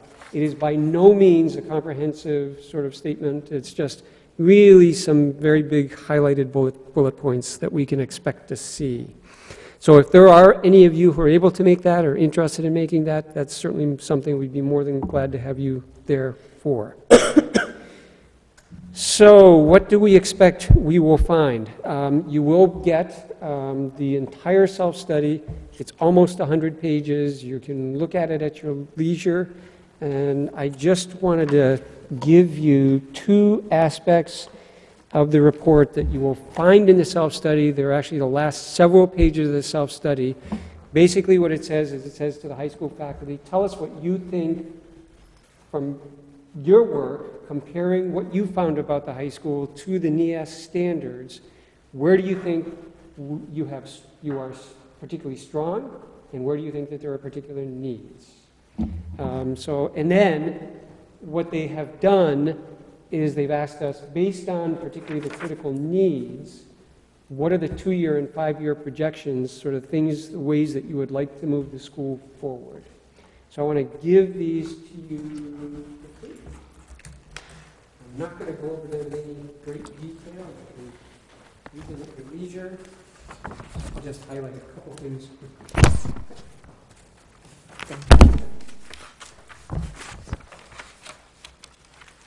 Jeff, this is just for high school, correct? There is, accreditation is also available for middle schools, and I think in elementary schools, a very tiny percentage of schools or school districts do it at those two levels. Largely private. It's very cost prohibitive. I think that, I think that's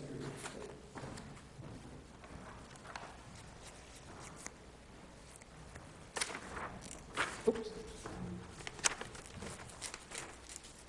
Somebody might have, oh, no, no. Oh, no, I did hold on to it. So, the thing that I want to point out again, I'm not going to go at all through any of these. The thing that above all, I want to prepare the board that we're going to be criticized for this. And I know it, and we deserve it, and we will do the work that we need to do. But one of the things that NEASC asks you to do is in the school mission statement, which I think I also gave, gave, gave a copy to you last time. You've seen it before, you've approved it. On the, on the back side of the school mission statement are what are called 21st century learning expectations. Those are sort of the cross-cutting academic skills, and then the civic and social expectations that we, by the time our students graduate, we hope to see that our students are demonstrating. One of the NEASC standards, which is repeated again and again and again in the standards, is to have school-wide rubrics by which a school measures progress against those cross-cutting expectations. We do not have those in place yet. We do not. Um, and we will, they will tell us, we have told ourselves we need to do that. Um, they will tell us we need to do that. There's no doubt about it. We need to do that. We did make a tactical decision not to, not to push those things to the very forefront because we decided as a staff um, that we had a lot of things on our plate connected to the move towards the Common Core, proficiency-based diplomas, differentiation, the NEASC process itself, and other things. So we decided that we were going to prioritize some other things that are really the, the, the foundational work that will make the school-wide rubrics much more meaningful and authentic and actually have a chance to actually last and persist. Because too many schools, including Cape Elizabeth High School, the last time we went through this process, rushes through the process of creating a school-wide rubric. They don't really take root, um, and they don't, be, they don't really affect kids' education that well. Um, so what we decided to do, we decided we really needed to focus on, on developing written curriculum that would take us in the direction of, which would be the foundation for our professional learning community work, our differentiation work, and proficiency-based diplomas. So we have been putting an awful lot of effort into that. We've been putting an awful lot of effort into developing much greater commonality of assessments, which are all still also connected to very much the NEASC standards. We have not yet done the school-wide rubric part of it, and they will tell us that and we have told them that Tell us that. they should to tell us that. So it won't be a surprise. Um, you will also see throughout here, particularly in the two-year fi- and five-year plans, you will see, I think, represented a tremendous amount of overlap with the strategic plan, tremendous amount of overlap with the sort of driving values of community, academics, passion, ethics. You will see things targeted at issues like stress management um, and some other things that won't be news to the board at all. So I think I will leave it there. If anybody has any questions at this point, I'd be more than happy to entertain any questions. A Couple of questions.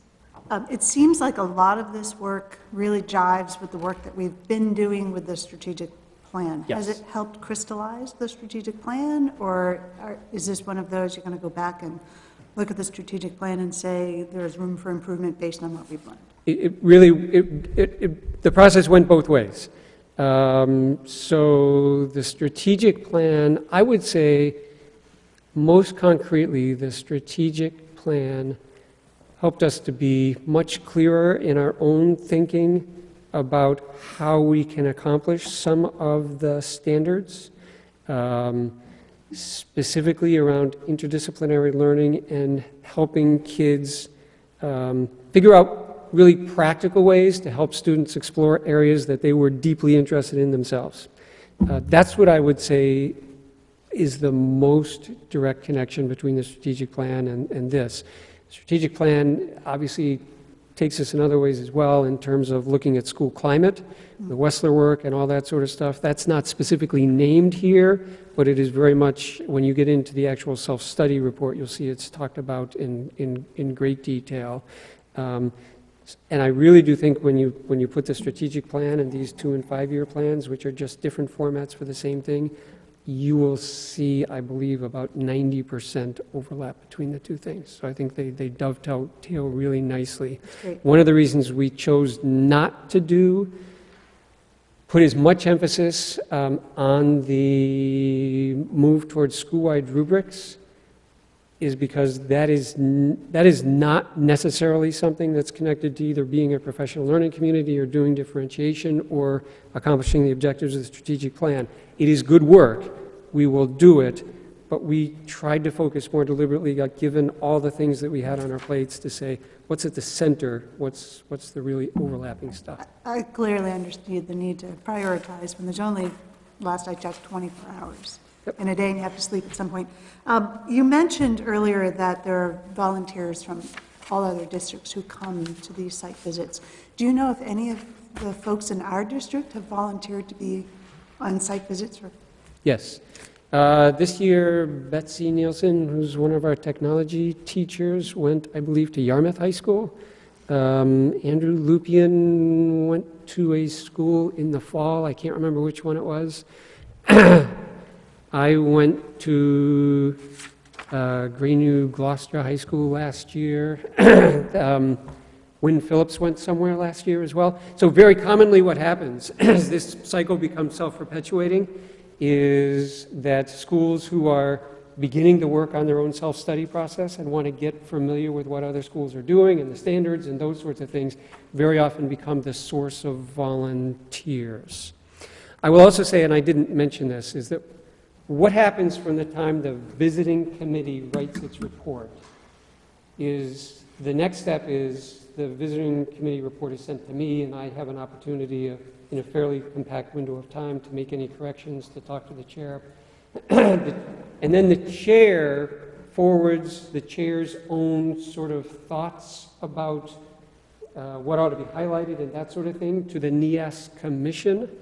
Um, and the NEASC commission is also composed of volunteers, it's volunteer principals, um, uh, superintendents, and assistant principals from districts across New England. And that group of people actually has the final say on whether you get your, you get continued accreditation status, what the progress reports are that you have to, you have to write, and all those, all those sorts of things. That wasn't really directly responsive to your question, Joe, but I, I I- I'd meant love to to say see that how earlier. this all Yeah. fits into the larger scheme of things. And then, one last question that I have is, and I know it's an obvious answer, but I think maybe not for those who might be listening, is what does accreditation status get us? So that's the great um, question. And NEASC struggles a lot to figure out what it gets. They would like to say, and there is some truth in saying that colleges pay some attention to it, but the reality is it's not.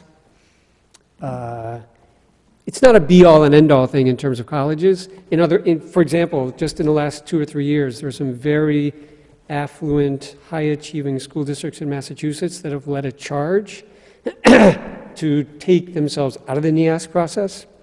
Um, and largely because they found it too prescriptive in some ways. Um, to be honest with you, one of the ways that a lot of schools struggle the most with is the school-wide rubrics and trying to make those authentic and meaningful. Um, and that's actually a, a discussion at the commission level. Um, really, what it gets us, I think, is it gives us an opportunity to reflect on our own practice. It forces us to do that in a systematic way. And much as, you know, you can wonder, is all of the time worth it?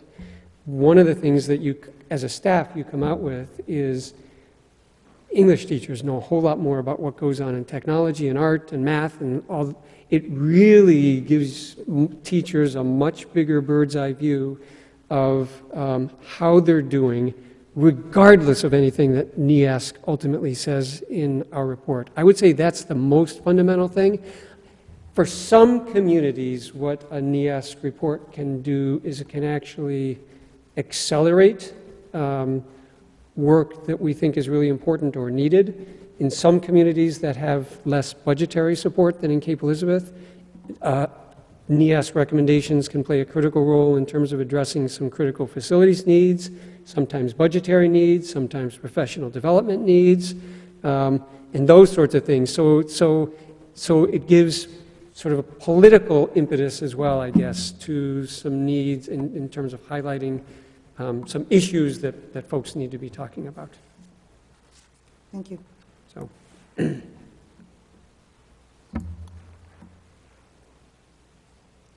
Thank you. Thank you so much.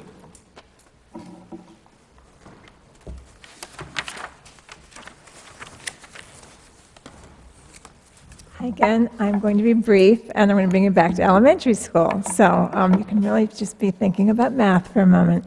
Um, As almost all of you, with the exception of Joe, I think, um, and Barbara, and you um, you've seen our newly revised um, Pond Cove report card with the revisions for standards-based mathematics um, as a progress key. And so we've done a lot of our professional development around standards-based mathematics to go along with the Common Core state standards.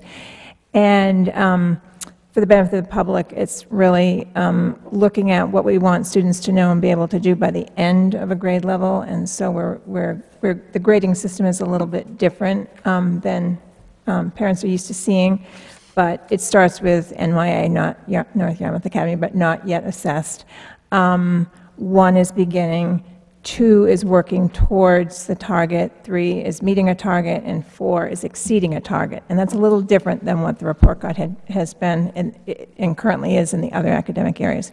So um, our Director of Instruction, Ruth Ellen Vaughn, um, has been working really hard to um, have, she's been in, in connection with somebody that the two of us met this summer um, at the University of Chicago when Meredith sent us out there um, to a Train the Trainer um, conference for, for the new fourth edition of Everyday Math. And um, we met Professor Jean, and I've spoken about her before, I believe, um, Professor Gina Kling from um, at Western Michigan University, who, and she also consults with the University of Chicago's elementary mathematical and science education um, program.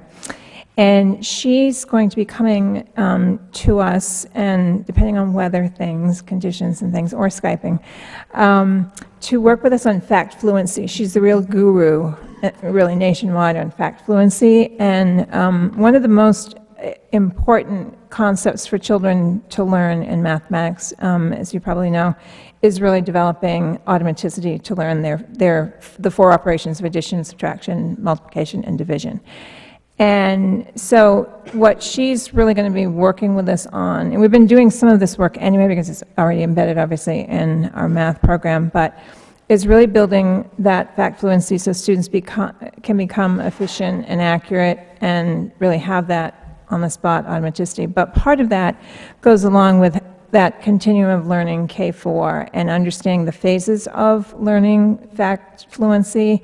And so like just starting with, I mean, again, I'm going to be brief, but just think of very, very basic and at the kindergarten level of that, you know, just concrete visual modeling, um, using hands-on manipulatives um, in the in the primary grades, but also um, helping. The next stage would be like using reasoning strategies. So like if you're looking at um, say the first, the first step might, at the concrete level would be, say it's um, five plus eight, and they might be, you, you'll see them counting on fingers or using um, counters to do it, whereas the next one, five plus eight, what are the reasoning strategies you want them to learn? So they might say, oh, well, five plus five is 10, and three more, that's 13. And so, and then ultimately getting them to the, to the next phase of um, mastery on proficiency whereas they just, five, five plus eight is 13. And you ask, how did you get that? I just knew, because that's what happens, okay? And so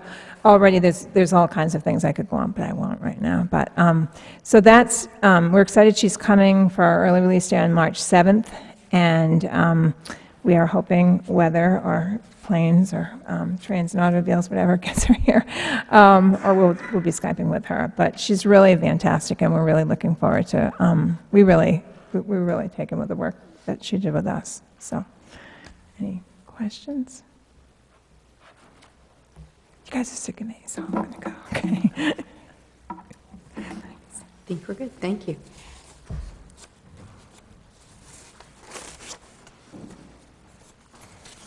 In the interest of time, I'm going to be very brief, but to kind of circle back to the digital, digital citizenship piece, Amanda's right, that is hard to say. Um, couple of things that have been happening across district. I'm going to be reporting to you next time that we meet on our um, metrics for our assessment. But with the digital citizenship piece, we've taken a, a bit of a leap with our STAR testing at the middle school this year, middle school and Pond Cove. Um, and rather than deploying the iPads the same way that we've done in the past with NWEA testing, with STAR testing, um, we decided to see if we could use all of the devices that we had without necessarily using the lockdown that we've had in the past. And um, rather than just employing devices that were very tightly controlled, and you can take this and do this, and we're going to grab it right back from you, which was disruptive for other classes as we took devices from and said, this is the only cart we're going to use this for. Um, we said, you know, it's time for us to see what we can do and really embrace the devices that we had. And so we made that leap, and I'm happy to say that it went very, very well. Um, and so we've kind of maximized our capabilities in scheduling. Um, so rather than trying to share out carts between grade levels and say, okay, now this grade level can only test in this window because this cart now needs to move here. As we're moving more toward a one-to-one environment with a number of our classrooms, we can say, okay, here's your four-week test window. We have a lot of latitude now. And um, we did find a few challenges at Pond Cove with our network because as we've brought down more iPads, and as most adults walking into the building have at least one or two cell phones in a pocket that also ping the network simultaneously, we discovered that we had a few places that we needed to shore up. But we were able to find that out before state testing rolls the end of March into April. So that was a good thing. Um, the other thing I just wanted to highlight, kind of an example of some of the cross grade level, cross building work today. I walked into uh, Tom Shaltre's room. He had a couple of fourth graders who had been doing some research and they were on a, a vetted search site, ran across something that wasn't horribly inappropriate, but they found a little bit concerning. And so immediately they were looking at it. Tom started a Twitter. He quickly I messaged Jonathan from the high school. Jonathan's at the high school, and they're talking about what can we do. The girls were, how do we put this out here and make sure that we can get this taken care of? Because we don't like what we see, and we think that others should take care of this. And so immediately they started a, a forum for others to start looking at, is this a problem? How do we want to deal with it? And it was just all in a day's work. It was just the girls rallying to say, you know, it's not horribly inappropriate, but we still don't think it's good to have to deal with this stuff. So it was an ad that was down in the corner of a National Geographic site. Wasn't horrible, wasn't great. And they said, you know what, we don't like that. What can we do about it? And so it gave them an opportunity right there on the ground to say, what do we have at our disposal to deal with this? And as a message for fourth graders, I think that's great because they're taking control of digital presence and how they impact it. So it's positive. Thank you. Thank you. We're ready to move on, which is me. So at this time, the school board would like to put out a call for um, members for our um, School Board Advisory Screening Committee, which we will be actually appointing at the next meeting. So this is the official call for membership. And I would like to explain um, the, the makeup, the role and responsibilities, and then how people could um, reach out to be a part of this group. So first of all, the makeup of this advisory committee is going to be three school board members, uh, two members of the district leadership team, um, three teachers, which we hope would be one representing each school, is the hope, um, two parents, and two community members. And um, so what we hope is that the district leadership team would talk amongst itself and, and put forward the, the two people that they would trust to represent them on that committee. And at the, the same way that we would hope that teachers at the high school, the middle school, and the elementary school would have an opportunity to, again, find, you know, find somebody that they felt would represent them, and that person is willing to do this work.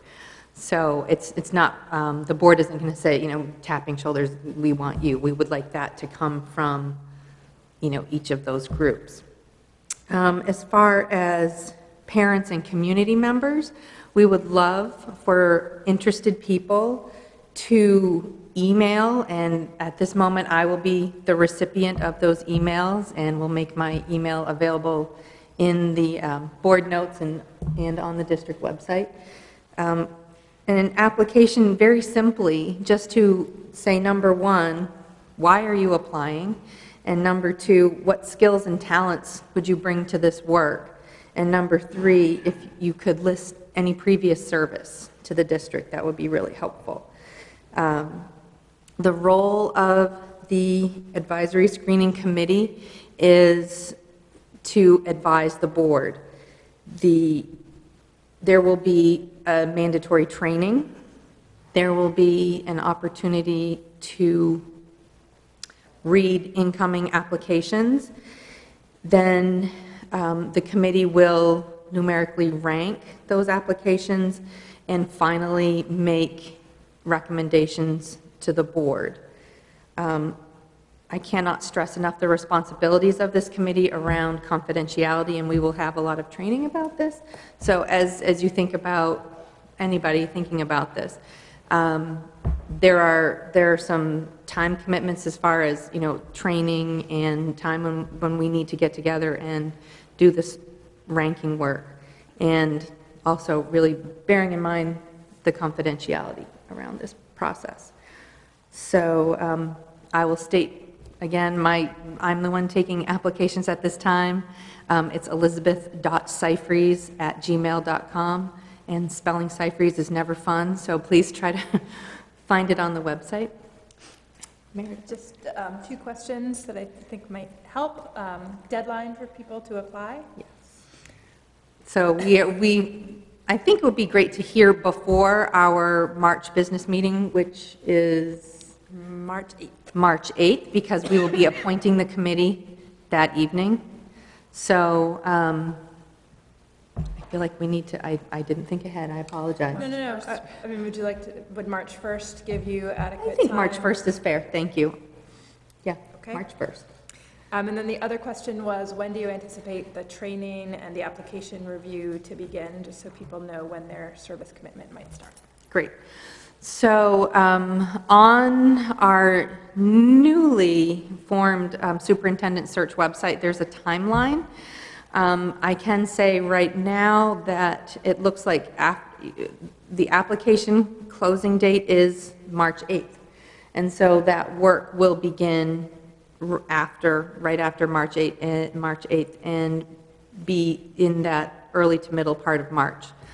Um, I hesitate to get a lot more specific at this time, but it's going to be probably the middle part of March.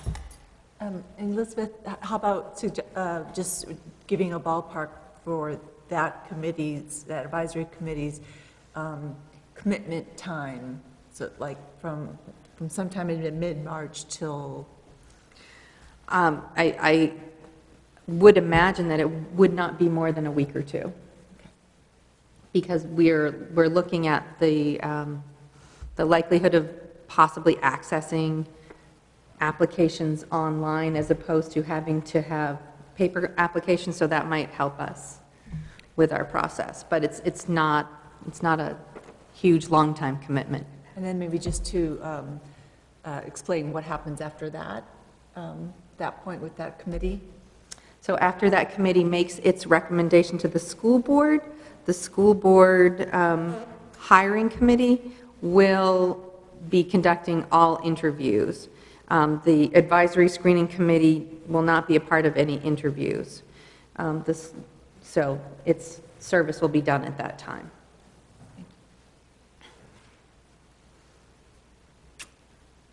And are there any other questions? Great. So moving on to item F, budget calendar. Yes, so in your packets, I believe again, and published on our website, is a proposed calendar for the 2017 fiscal year budget. You will note that no longer on our calendar and pursuant to a vote later this evening, um, but following up on a town council vote from last evening, we have removed the community services portion um, that has previously been part of our budget process from our calendar. That said, um, and this is the first time the board and, in fact, the administrative team are hearing this, um, given the recent challenges um, that we, we learned of with our budget, I, and that we aren't dealing with community services budget, I would ask the board to just consider whether or not it might be willing to delay the start of our budget process to March 1st. Um, We learned of the million dollar shortfall, and I'll elaborate on that a little bit later, or the potential million dollar shortfall um, a week ago last Friday.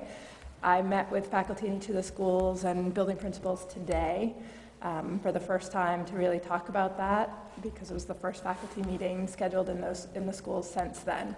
Um, because we are on vacation next week, the opportunity for input and some decision making around how we best handle um, that shortfall and, and the budget piece is tight. Um, you know, certainly right now, everyone's expecting that we're going forward with a proposal to you on February 23rd, and we will do that if that's the will of the board, um, in the interest of sort of thoughtful decision-making around what may be some um, difficult issues to wrestle with. If the board was willing to give more time, um, we would certainly welcome that. So, again, I, I recognize that's new information for all of you tonight, and I certainly respect the calendar that is before us. I'm going to ask Joe to weigh in. Well, my question is, for you and for the district leadership team, would be, would the extra one week be enough time for you to sort of reformulate your thoughts on where the budget lies? I think the challenge that we face is we've sort of had the last week to react to this issue, and next week is a challenge because there's limited staff around to be able to give input and feedback. Mhm. Um, so for us, yes, the additional week would make a significant difference. But I also recognize that leaves you with less time on the other end. Right, I think Joe was asking, is it enough time, a week? Do you need more than a week? I don't Weren't think you we can asking that? afford more than a week, frankly, just Well, without the community services taking up the February 23rd meeting, um, perhaps I can, at least by removing that from our schedule, use that time to more thoughtfully go through the, the existing budget, and see how those impacts. Take the temperature of the board on that. Sounds wise. Yeah. That's what's needed, Yeah. fine, yeah. So we would not meet on the 23rd, is that right? Okay. Just strike that off the calendar altogether. Okay. I think that does sound prudent. Okay. So let's go ahead with updating that calendar, and let's update that um, for the public as well. Yes. So I'll get that update out tomorrow. um, And with the budget calendar, I will um, include some budgetary information that, again, I'm going to speak about in a little bit. Great, thank you. I appreciate, by the way, the extra work that that surprise announcement puts not only on the superintendent, but the district leadership team and all the way down into the classrooms. That's not easy work in front of you. Thank you. Um, Moving on to item 5G, retirements and resignations. So two things happen in February. One is the teachers who have had leaves of absence um, let us know whether or not they intend to return to those positions. Um, And the second is that folks who anticipate retiring at the end of this calendar year, school calendar year, generally give us notice of that. Um, So we've received some of those notices. High school teacher Sarah Steiner has let us know that she will not be returning from her leave of absence. Um, Sarah's been at the high school for eight years, and we certainly wish her well. Um, We've also learned that Sally Tamaro, who works in the office at the middle school, um, will be retiring after 22 years of service to the district, and that Barbara Cummings at Pond Cove in their front office will be retiring after 30 years of service to the district. And finally, we've um, heard from second grade teacher Lynn Spadinger that she too will be retiring after 12 years of service um, in Cape Elizabeth. So. And so in June, So in June, we typically recognize all of our retirees. The board holds, yes, I, I forget that there are new There are new members people here. meeting, so new, for the benefit of new members at that time, we speak specifically, um, uh, folks come to speak specifically about those retirees, and we recognize them at that time um, with some well wishes, and um, the board typically presents those retirees with gifts, and we have a reception for them. thank you. And now item 5H, superintendent's report. Okay. So, I spoke about budget, and I think I will start there, and I may end there, based on how much time we have before us this evening. But a week ago, this past Friday, uh, we learned that um, the preliminary um, monies from the state, or the preliminary information we received from the state is that we will receive a million dollar less in state subsidy. Um, and that's due to several factors, but overall, the cost of education in Maine has gone up. Property valuation in Maine overall has gone down. Um, so that means that every community is picking up a little bit more of the cost of education. In Cape Elizabeth's case, our local property valuation has also increased, which means that we pick up then more of the share. Um, at the same time, we have a couple of other local variables that have taken place, which is that our enrollment has decreased um, somewhat, but every individual um, counts um, when you look at enrollment and um, state aid. And at the same time that our overall enrollment has declined slightly, so has our enrollment in special education. So those pieces all factor into the funding that we receive from the state. Um, There is some discussion in the legislature about potentially adding um, back in. Um, Right now, the proposal or the discussion is for about $23 million, and this is information that I um, just received late this afternoon.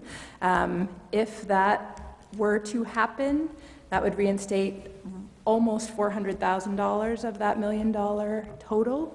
Um, But it's very early in the legislative process to give any predictions on whether or not that will actually occur. Um, As we experienced last year, sometimes those legislative decisions are made very late in the process and after our budget um, has been out to voters and decisions have been made. So it becomes um, very difficult in those circumstances to react. So um, last Monday, um, the school board and town council met in a joint workshop to talk about budget overall. Um, and the slides for this are online, so I'm not going to going to go through them in great detail, but the greatest challenge that school departments face is that their budgets are largely personnel. They are 81% in our case, um, salaries and benefits. That's, that's where most of the money in Cape Elizabeth goes for education, to people um, working in our schools. About another uh, 12% is energy, facilities, transportation. And that leaves 7%, that's everything else. All of our supplies, equipment, furniture, our professional development monies, our legal services, our insurance, all of those pieces um, make up about another 7% of the budget. The challenge um, when 80% of your budget is people is that as salaries and benefits increase, so does your budget. Um, in our case, uh, the con- contracted salary and benefits increases amount to about a little over a 4% budgetary increase coming out of the gate. That million dollar cut um, in state aid represents about another 4%. So as we start our budget process with no new requests, no added monies for anything else anywhere, we are coming out of the gate at an 8%, slightly over, above an 8% increase to taxpayers. At the same time, our enrollment overall um, is projected to decline only by about 25 students um, across the district. Most of, the, most of that um, decline is projected to be at the high school, um, with the high school losing roughly 30 students, um, just based on the differential between students graduating and the incoming ninth grade class. Um, The middle school will, is, is projected to pick up about 15 additional students from its current numbers, and the elementary school um, is projected to decline by about 10 students. And for those of you who have watched our enrollment history over the last couple of years, um, the elementary enrollment was um, different than projected by groups like Planning Decisions and by our prior enrollment history. So as we projected forward to next year, we really utilized the past two years as the indicator of, of what we might expect moving forward. Um, so that, that sort of heavily weights potential growth in our elementary school population. And again, that's what we've experienced the past couple of years. So that's the scenario that we're kind of working with at the moment. Um, you know, to get to um, the type of reduction as we experienced last year, the town council wanted us to bring forward a 0% um, increase to taxpayers. To get there would have a substantial impact on staffing and programming across the district and would require um, a lot of difficult conversations. Um, I don't expect that we're going to be bringing forward to you a 0% budget at the outset because I don't think we feel that's the responsible thing for us as an administrative team to do as we start this process. Um, Certainly, the board will be offering us guidance and making decisions along the way, but Um, That's the scenario, and it's a challenging situation um, at many levels. And, you know, we met with faculty in schools today. We've, you know, made it very clear that everything is on the table, um, from, you know, simple things like paper and how much paper we're buying and can we do away with printing um, as much as possible in our schools to things like administrative positions and um, programs and um, co-curricular and athletics. I mean, everything is, is a possibility. So um, I, I want the public to understand that. I want people in this room to understand that. Um, you know, it gets challenging. We had a conversation in one of the schools today about what, what happens is that when you're in a, a situation where the budget is that difficult, um, you try to be guided by what's your mission and vision say, what is your strategic plan calling for, you know, what are your pol- how do your policies guide you, particularly around um, class size. You try to think strategically as our enrollment continues to decline slightly over the next several years.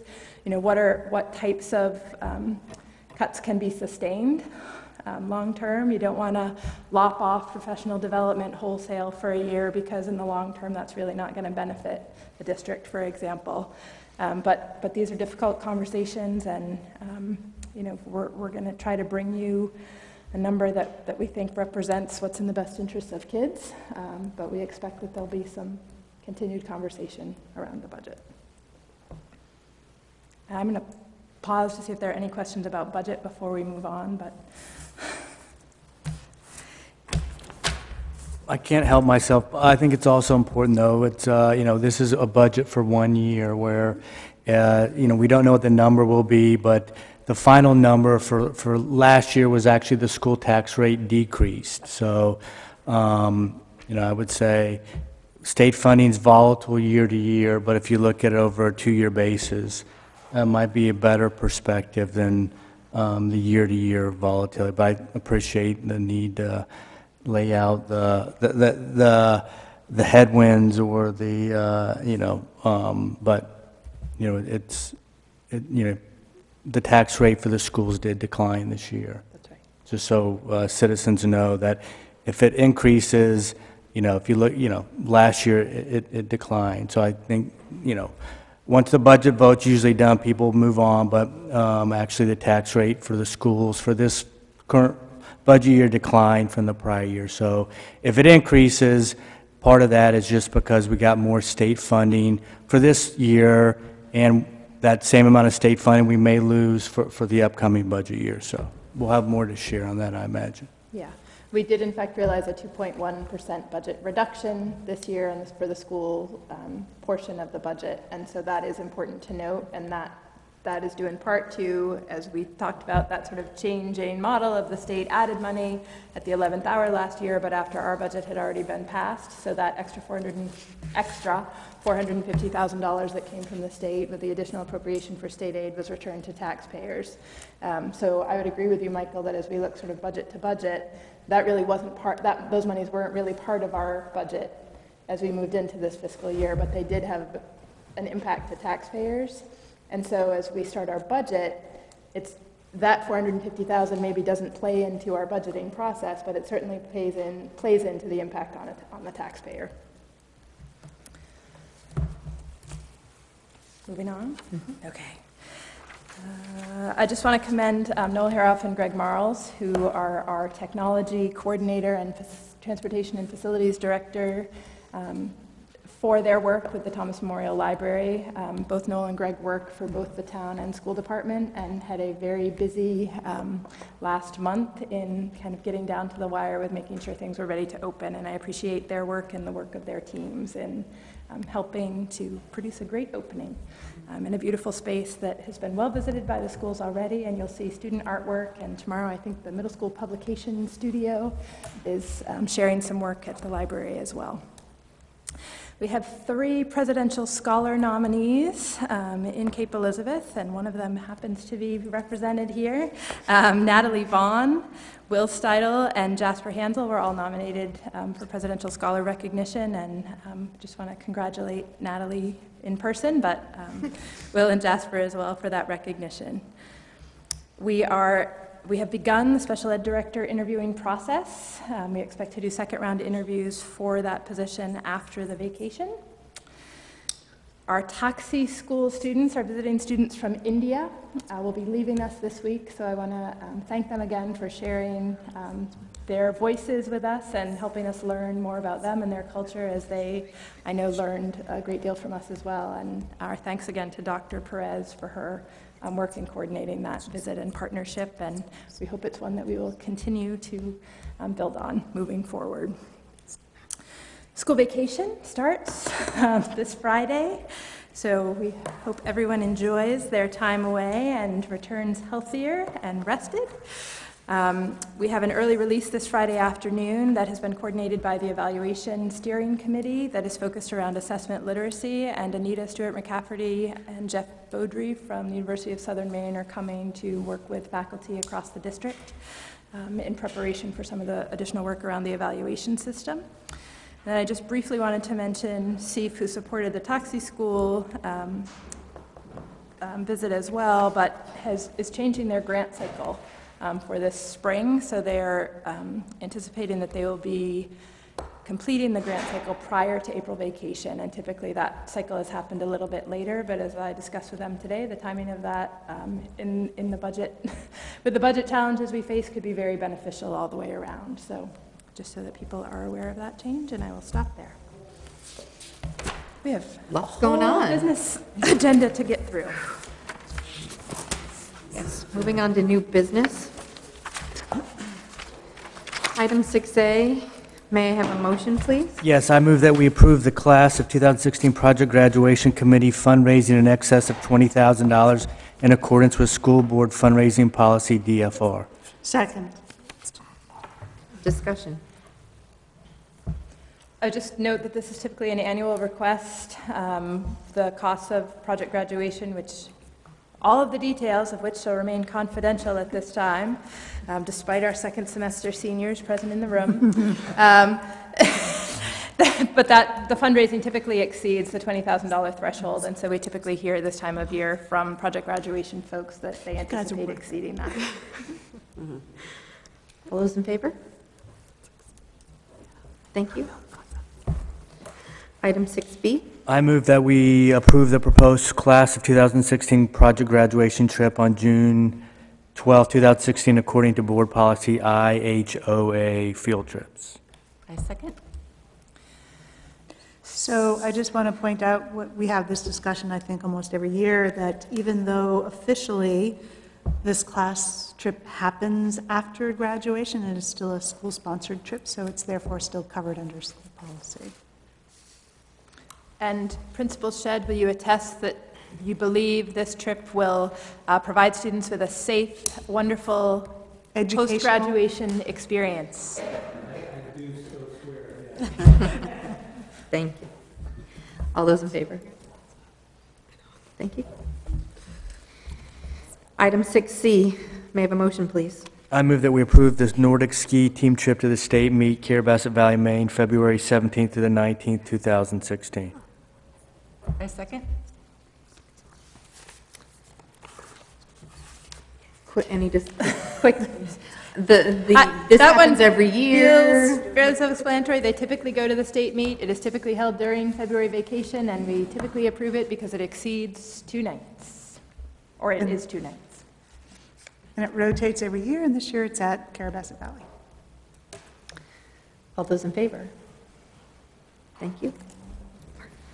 Item 6D, I move that we approve uh, a mock trial team trip to the National High School Mock Trial Tournament in Boise, Idaho, May 11th through the 15th, 2016. a second? So this trip has of late also happened every year, um, and um, Mary Page and the mock trial team this year, um, as state champions again, were, um, have the opportunity to participate in the national mock trial tournament and are conducting some fundraising um, at the moment, and we'll be continuing to do that up until they leave. All those in favor? Great. Item 6E, may I have a motion, please? I'd be happy to make the motion. Uh, Just one clarification. Do you, uh, is it the proposed calendar, or is it the uh, amended one with five days? As amended. with- I will uh, uh, move that we approve the uh, proposed amended 2016-2017 academic year calendar, which is amended to include five professional early release days at Pond Cove versus the seven in the original proposal. Second it.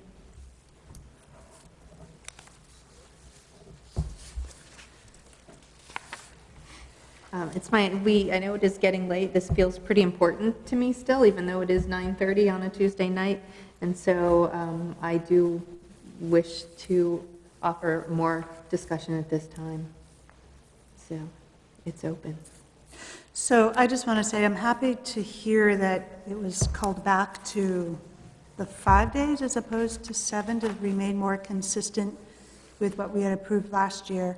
Um, I do have a few observations that I would like to share. Um, So I understand that we do pay for seven professional days, and those are quickly eaten up between um, the Monday afternoons, the teacher evaluation development um, process, and the changing in the state standards and the need to sort of get together and talk about that as a team on how you're going to meet those needs. And, you know, you have a fabulous product that's come out this year with the new report card, so it's good to see, um, I'm assuming that some of that work that went into building that new report card came out of your professional development days. Um, I would like to see moving forward sort of the goals and expectations of not only the rest of the professional development days for this year if they've changed, but um, what's missing from this year's proposal is how you are again going to use those days coming up in the, in the coming year. Um, I understand that because of the schedule differences in Pond Cove, there's a limited amount of time for coming planning time. But um, we have heard from parents in the community that there is some concern about the added burden that that does place on, on families and, and um, scheduling, not that, um, there's just a, it- it's a, it's an added expectation for our families. So I, I think that, also, um, I hear that especially the creative solutions with trying to find some professional development time that is of no cost to the district, especially in light of the million dollars less expected from the EPS funding, is important. Um, Again, uh, as a board, I think we need to be able to say with a straight face, we, we provided these professional development days so that you could accomplish X, and you had these expectations.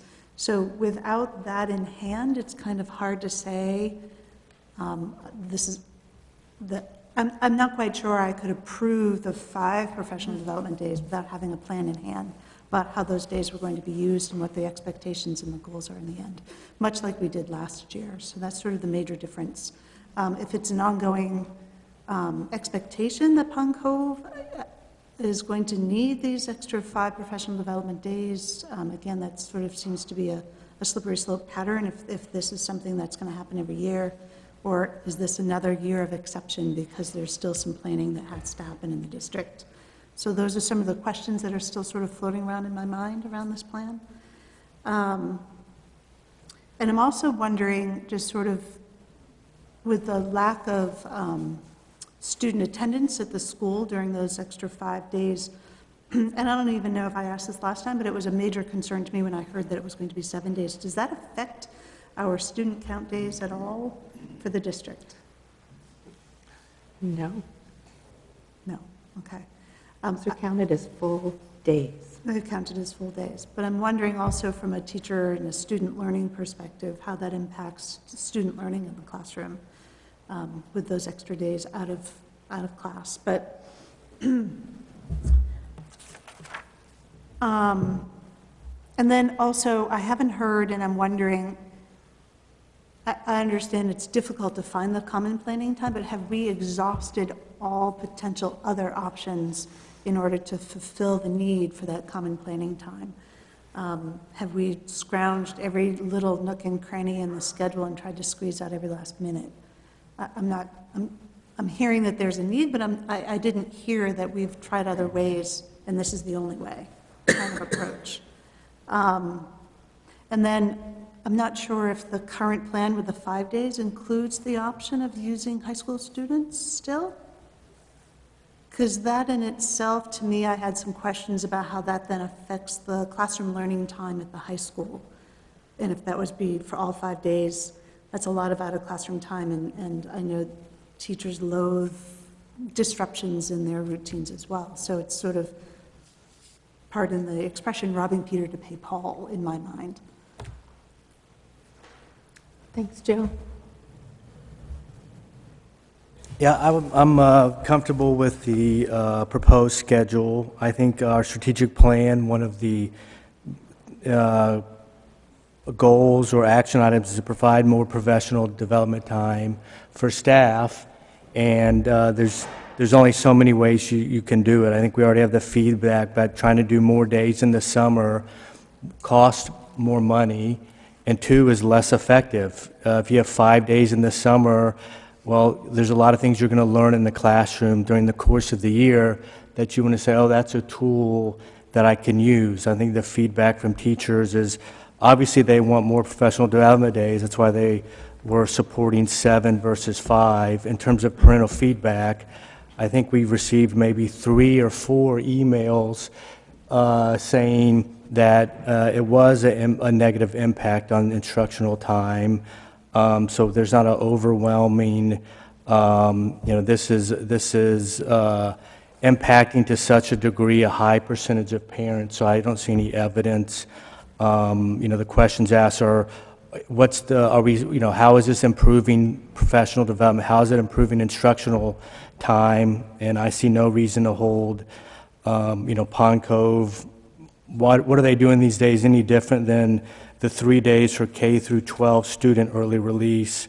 I don't recall us asking for a professional development uh, curriculum on all tho- those days, and those are early release days as well. So um, we need more professional development. There's only so many ways you can do it. I think five.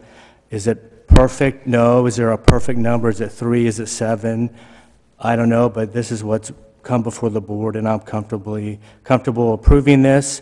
And, you know, as we look uh, forward, is there opportunity to say, what are other opportunities and options? Um, You know, we could explore that, but um, I'm comfortable with, with the schedule as is, given we've asked for teachers to do more things, develop more skills, and they need time to, to share best practices, and um, I think this is the, the best uh, way to achieve that. Um, I'd like to say again that I'm, I'm at this point not comfortable to, to vote um, on it without po- possibly considering redoing the survey to, just to tap into the question, how parents feel, how much parents value um, the, the five extra days, uh, the five half-days. Because I, I feel like there was no room for input on that, in addition to not a lot of time for that input. Um, And then the other piece that I would really appreciate feedback on is um, from the staff. Um, How helpful are they finding the, the half-days for professional development versus time just to work on their curriculum? Um, How much um, is the, is the input of the agenda for the whole year, uh, how much of that is a collaborative process? Like, are, are all the teachers allowed to work together to, to vote on, you know, what they feel is the most important topic, um, to, to, the topics to, co- to cover? So for me, I, I just feel like at this point, I, I still need more information um, um, fr- from, most importantly, from the, the staff at this point to see how, how um, valuable this is to them. Um, That's where I'm. Um, I would just add that that my, my sense uh, was confirmed by Meredith, that there is a real disparity between our middle high school and our elementary schools.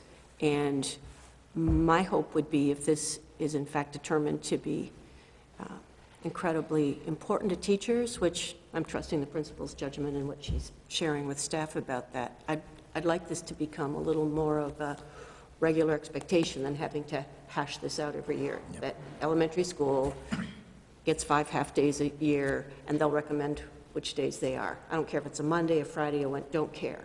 But if they need that additional 15 hours of time, I believe it, because the disparity is so great with the other schools. So how, how that lands, I would prefer it to, us to make an assumption that it's a need going forward than, than something we have to look at every year. And I, and I do agree with Michael that while it was nice to hear precisely what was planned for this year for the time for math, we don't ask that in any other situation. We don't ask what the eighth grade team is doing with all their release time. We don't ask what the high school math teachers are talking about.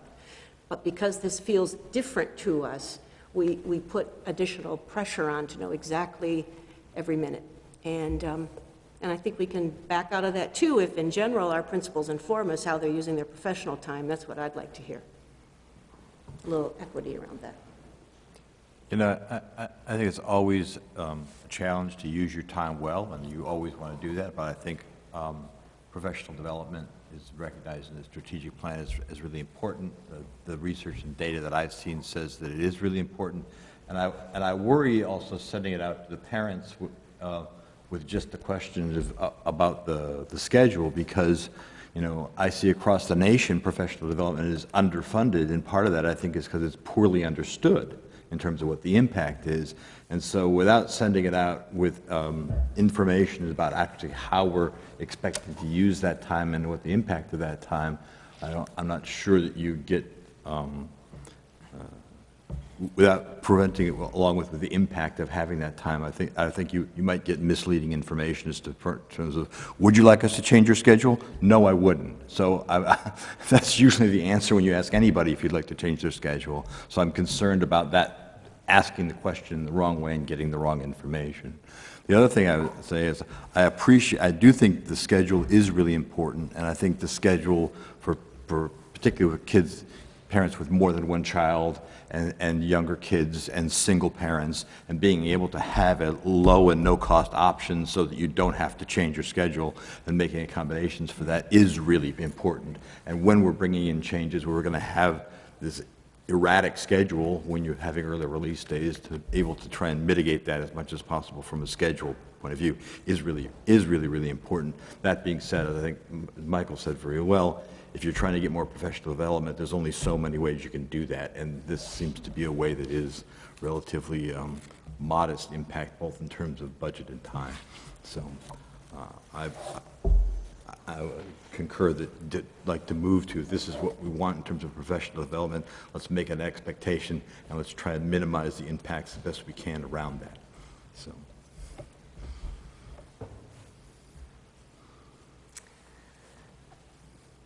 I usually like to speak last, so I'm going to just go ahead and, okay.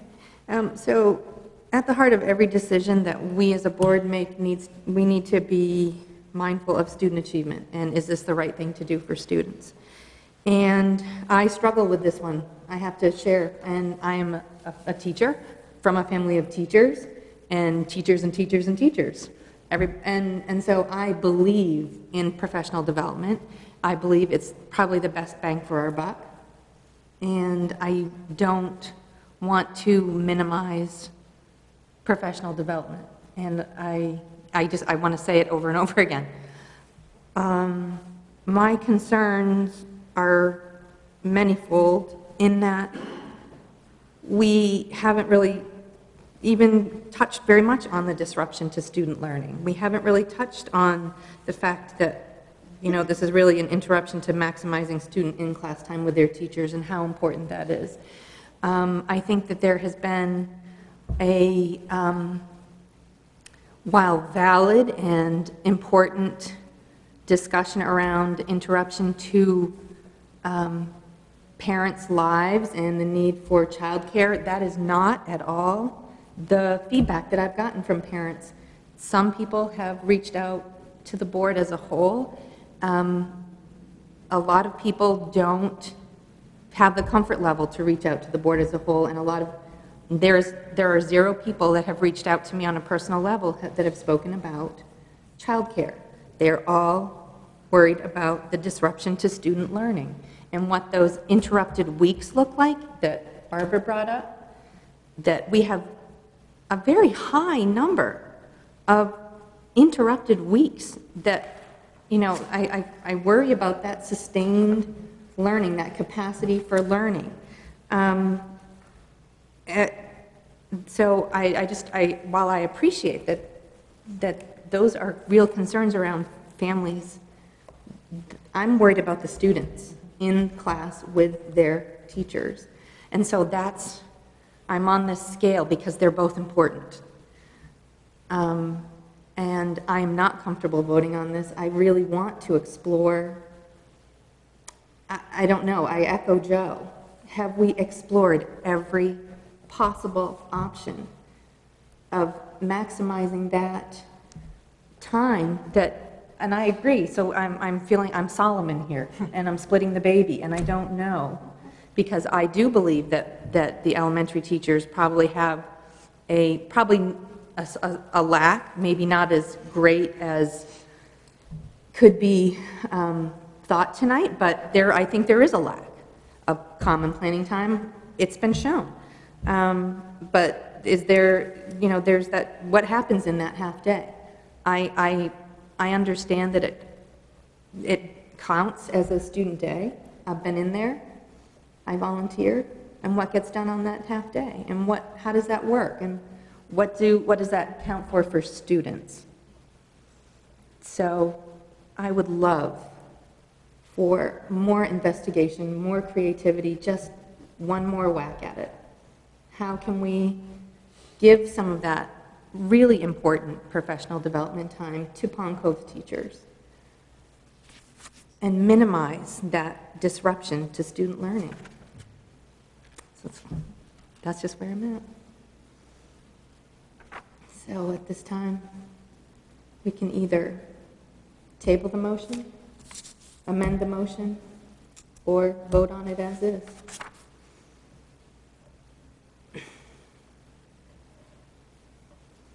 So it's Michael's motion, so someone else can move to amend. Someone Or else Michael can- can move to amend or withdraw, or someone could call the vote. So uh, is there an amendment? So I, I guess what I'm, I'm, I'm feeling a little conflicted like you. Again, I, I agree, there's a great need for professional development time. There's a great need to do that with as less impact to the budget as possible. I'm not comfortable with missing some of the answers that I had expressed before. So uh, maybe I'll make the motion then, that if we could just um, table the um, motion as, as is with the amended five days, and um, maybe work with Kelly through uh, Meredith to see if there's some further information and some answers that we can get as a board to move forward. That was a messy motion, wasn't it? I move we table for further information Until, until the next business meeting. So I'd like to second. So we need a second on the I'd- motion. I'd like to second that motion. Okay. Partly because I think this is a really important uh, topic for the board, and I think it would be uh, important for us to speak with as much unanimity as possible on the topic. Thank you. So at the time, do we vote on Joe's motion and not Michael's? Yes. Just want to do this the right way. On tabling the motion. Okay. So all those in favor? Seven. Six or seven. So can we have all those in All those favor? in favor? Thank you. I appreciate the robust discussion around this. It's an important topic. And So at, at the risk of belaboring this, I just want to be clear about what you're looking for from us. I heard a couple of different things. I heard um, some additional feedback from faculty as well as feedback from parents. I heard some additional thinking about how else we might be able to um, find time for this work. I heard um, uh, what happens if we use high school students to their time. I, I, it's a long list. well, there, there are sort of It's a lot of pieces, implications. So I, I guess I'm trying to understand. Yes, so far you've You want got all of the above? adding a 1,000. Okay. Um, And and the impact on learning, which I I think that's going to be difficult to gauge. yeah. um, Other than through, through a qualitative feedback um, on the survey. But I- I, rem- I remember a, a point being made last year about um, the half-days and, and teachers, s- none that were present, but te- teachers who have, people here who have taught, saying that the, the change in schedule is difficult and disruptive to their, um, their whole week. And so that, that's more of the feedback I'd like to hear from staff. So you're trying to understand from a staff perspective, what's the trade-off on the benefits of the professional development versus the impact on student learning? Mhm. And you're looking for similar feedback from a parental perspective? I, I would like to get a, a more, yes, yes. That- That's, sorry. One, one um, thing that could be added to the discussion, Meredith, is, is, is, uh, part of what I spoke about earlier was when you lose a whole half-day, that it- you really have to look at your week schedule and how you, and I know a big part of it is the bus, so might the early release start later? So you're losing, you know, less of your day. So if you plan to have a content area piece in the afternoons, that's the one thing you lose, and that's more easy to reschedule than a- a a missed math, for example. So backing off from when the run happens for the middle school, high school, to be able to get the kids home. you- Right. Might that be more amenable for people? So you could still have a good solid two and a half, three hours, um, and be less disruptive to the school day? That might be one consideration I'd ask be explored. I appreciate any creative thinking. And then Meredith, there's one other thing. I mean, we are asking for professional development time, common planning time, because there's a need. Um, Like last year, I think that we need to know what that need is and what the time will be used for. Yeah, I just like to say, I appreciate uh, that all these requests we're making. I I just think it, uh, we're, sounds like we're getting in pretty deep in the weeds uh, on this, so um, there's about eight items we requested. So, you know, we just did a parent survey, we were, we're going to request another parent survey, uh, you know, teacher, you know, so I think we can keep shouting out ideas. I don't know how practical, um, you know, are we, we really want to do another parent survey on the heels of one we just requested, so um, it might be helpful to have maybe two or three specific items the board wants to help them make uh, the decision. Is it, do teachers want five days? Yes or no? Um, You know, so I, I- you know, I'm not sure we're giving the superintendent really a whole lot to go with right now. So uh, for those that, you know, want more information, you may be, you know, what, what are the three things you want? And I hear you, Michael, and I appreciate that, although I did, I felt that the, um, I don't feel that the survey presented to us tonight was actually helpful. I don't know that we need to redo it. I think we understand that there are disruptions in family life and that there are grave concerns around um, disruption to student learning. I don't think we're going to get a lot of, I think we've got that. Um, Even with a better designed survey, I I think we've got that. And while that is part of what we take in, we really need to hear more from, I think, our teachers and some creative problem solving around alternatives. And do we want to be keeping in mind if this is a one-year change, or if we're acknowledging the different schedule that's happening in Pond Cove, and if this is going to be a more permanent um, situation, because it's going to be, keep asking, it's going to be continually asked for. I think that's, our approach may be a little bit different Mhm. if we know what that goal is. If it was going to be an ongoing thing, we might not need to have that explanation of that time. Right. I, I would, I would concur. I think any suggestion we're going to make going forward, we want to be a durable proposal because having vision on what's coming up is also what helps minimize the disruption to student learning. Absolutely. And that speaks to the why and the how. Right. It explains the decision. Okay, we narrowed it down for you a little bit, a little bit. We'll be okay. She'll replay the tape later. Take- Thank you again. Oh, No, all I'm going to say is we go on vacation next week. We have then two weeks before our next meeting. If we don't have time to address all of this at the same time that we're also doing budget, you may not get a calendar proposal until April, but we will do our best to do both of these simultaneously. I'm just mindful that if we are asking for additional feedback, it could be a tight timeline.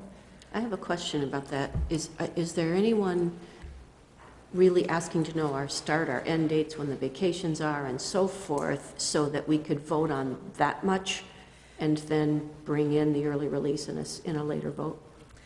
I've not heard a lot of that. I mean, and I think anyone in the public who's kind of following this discussion understands that given the parameters of needing to align our calendar I with didn't know if that would PATHS, be helpful that or those not, dates are but- set. Okay.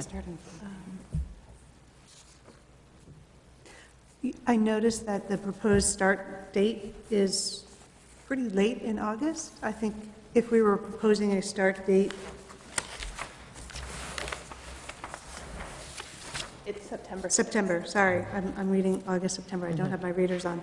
I think if we were proposing an earlier start date, that would be mission critical to help families, especially plan summertime, but um, that's a pretty late start date. Uh, To Barbara's question, I think we could ad- adopt the calendar at the March meeting, even if we have not finalized the early release Right. piece, and that would give the public. Right, the ability to plan Yep, accordingly. exactly. I think that's appropriate. Moving swiftly on. Item 6F, may I have a motion, please? I move we approve Cape Elizabeth's PATHS Part 1 and 2 budget costs for 2016, 2017 in the amount of $55,249.73. Part 1, $54,659.59. Part 2, $590.14. Second. Discussion.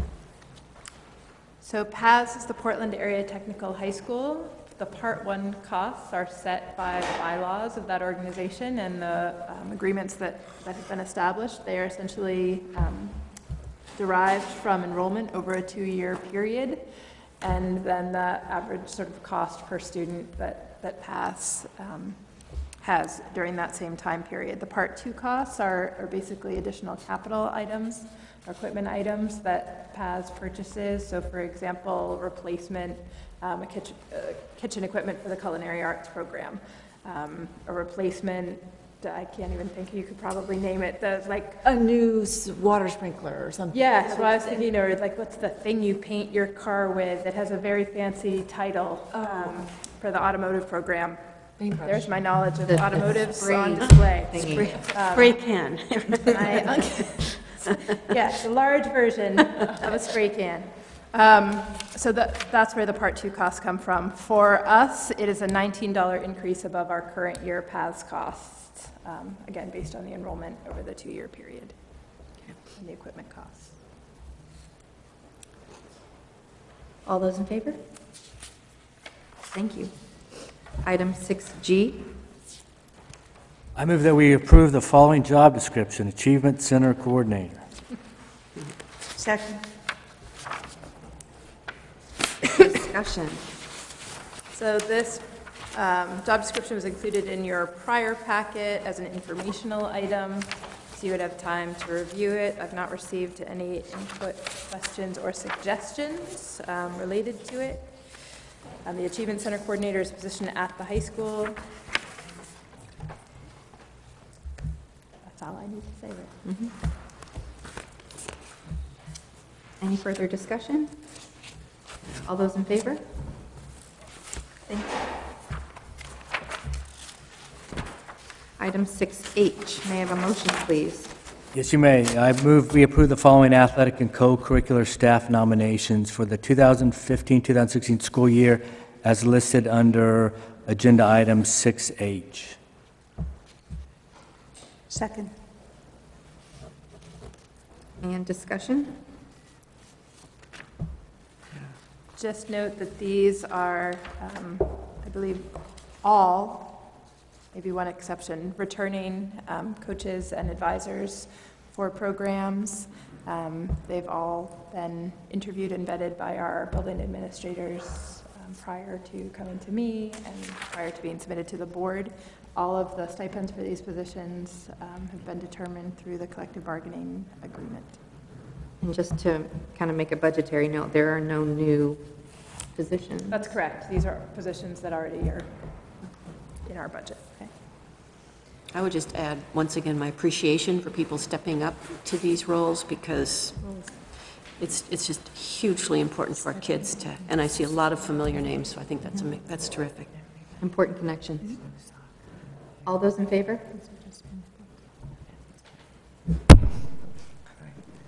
All those in favor?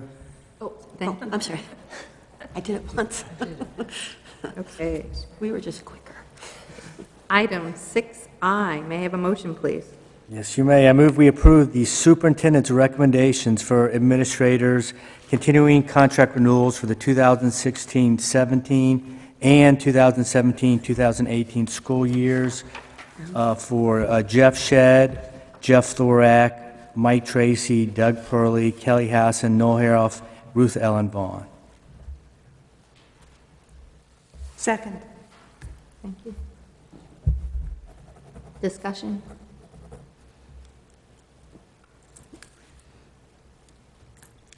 Are you, sorry. You're all looking at me, and I am writing down the um, motion.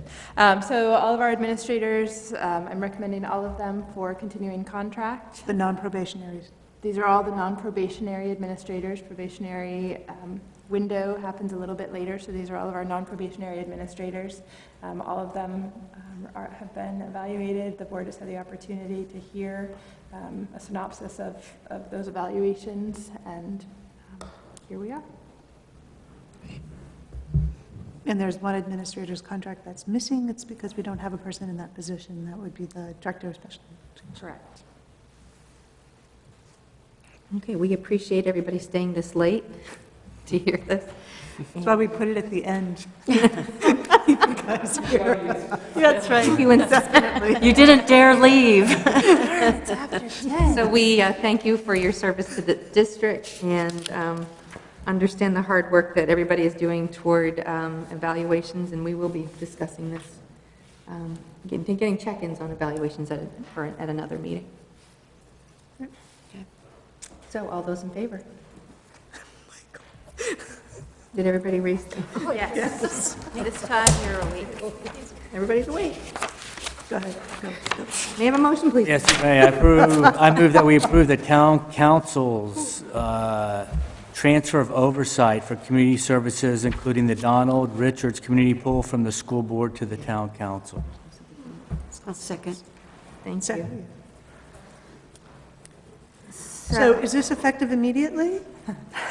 No, this would be effective July 1, uh, but the town council would um, assume the responsibility for the budget development process for FY '17. Hence, that's no longer on our budget process calendar Correct. for the upcoming. Yes. I think that was an important distinction to be made, because my understanding was that, yeah, we, we still had oversight until July 1, but then we're not doing financial oversight, so thank you So- for the clarification. So in the short term, we retain the financial oversight for community services, and I retain respons, I I retain um, supervision and evaluation responsibilities for Russell Packett, who's the Director of Community Services, and on July 1, those responsibilities as well will transfer to the town. Um, I'll just add that last night, the town council unanimously approved this um, move for community services to become its own municipal department, uh, much like every other depart, uh, community services or rec department in the state of Maine. So, just want to throw that out there for you. Any other questions or discussion?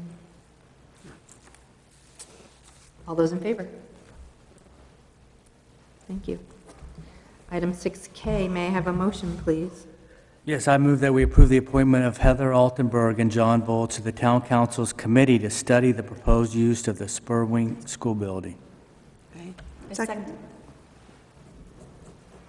Um, I would personally like to thank our two newest members of the committee for stepping up. I think the work looks really fascinating and interesting. I really hope you enjoy it. It's great. Thank you.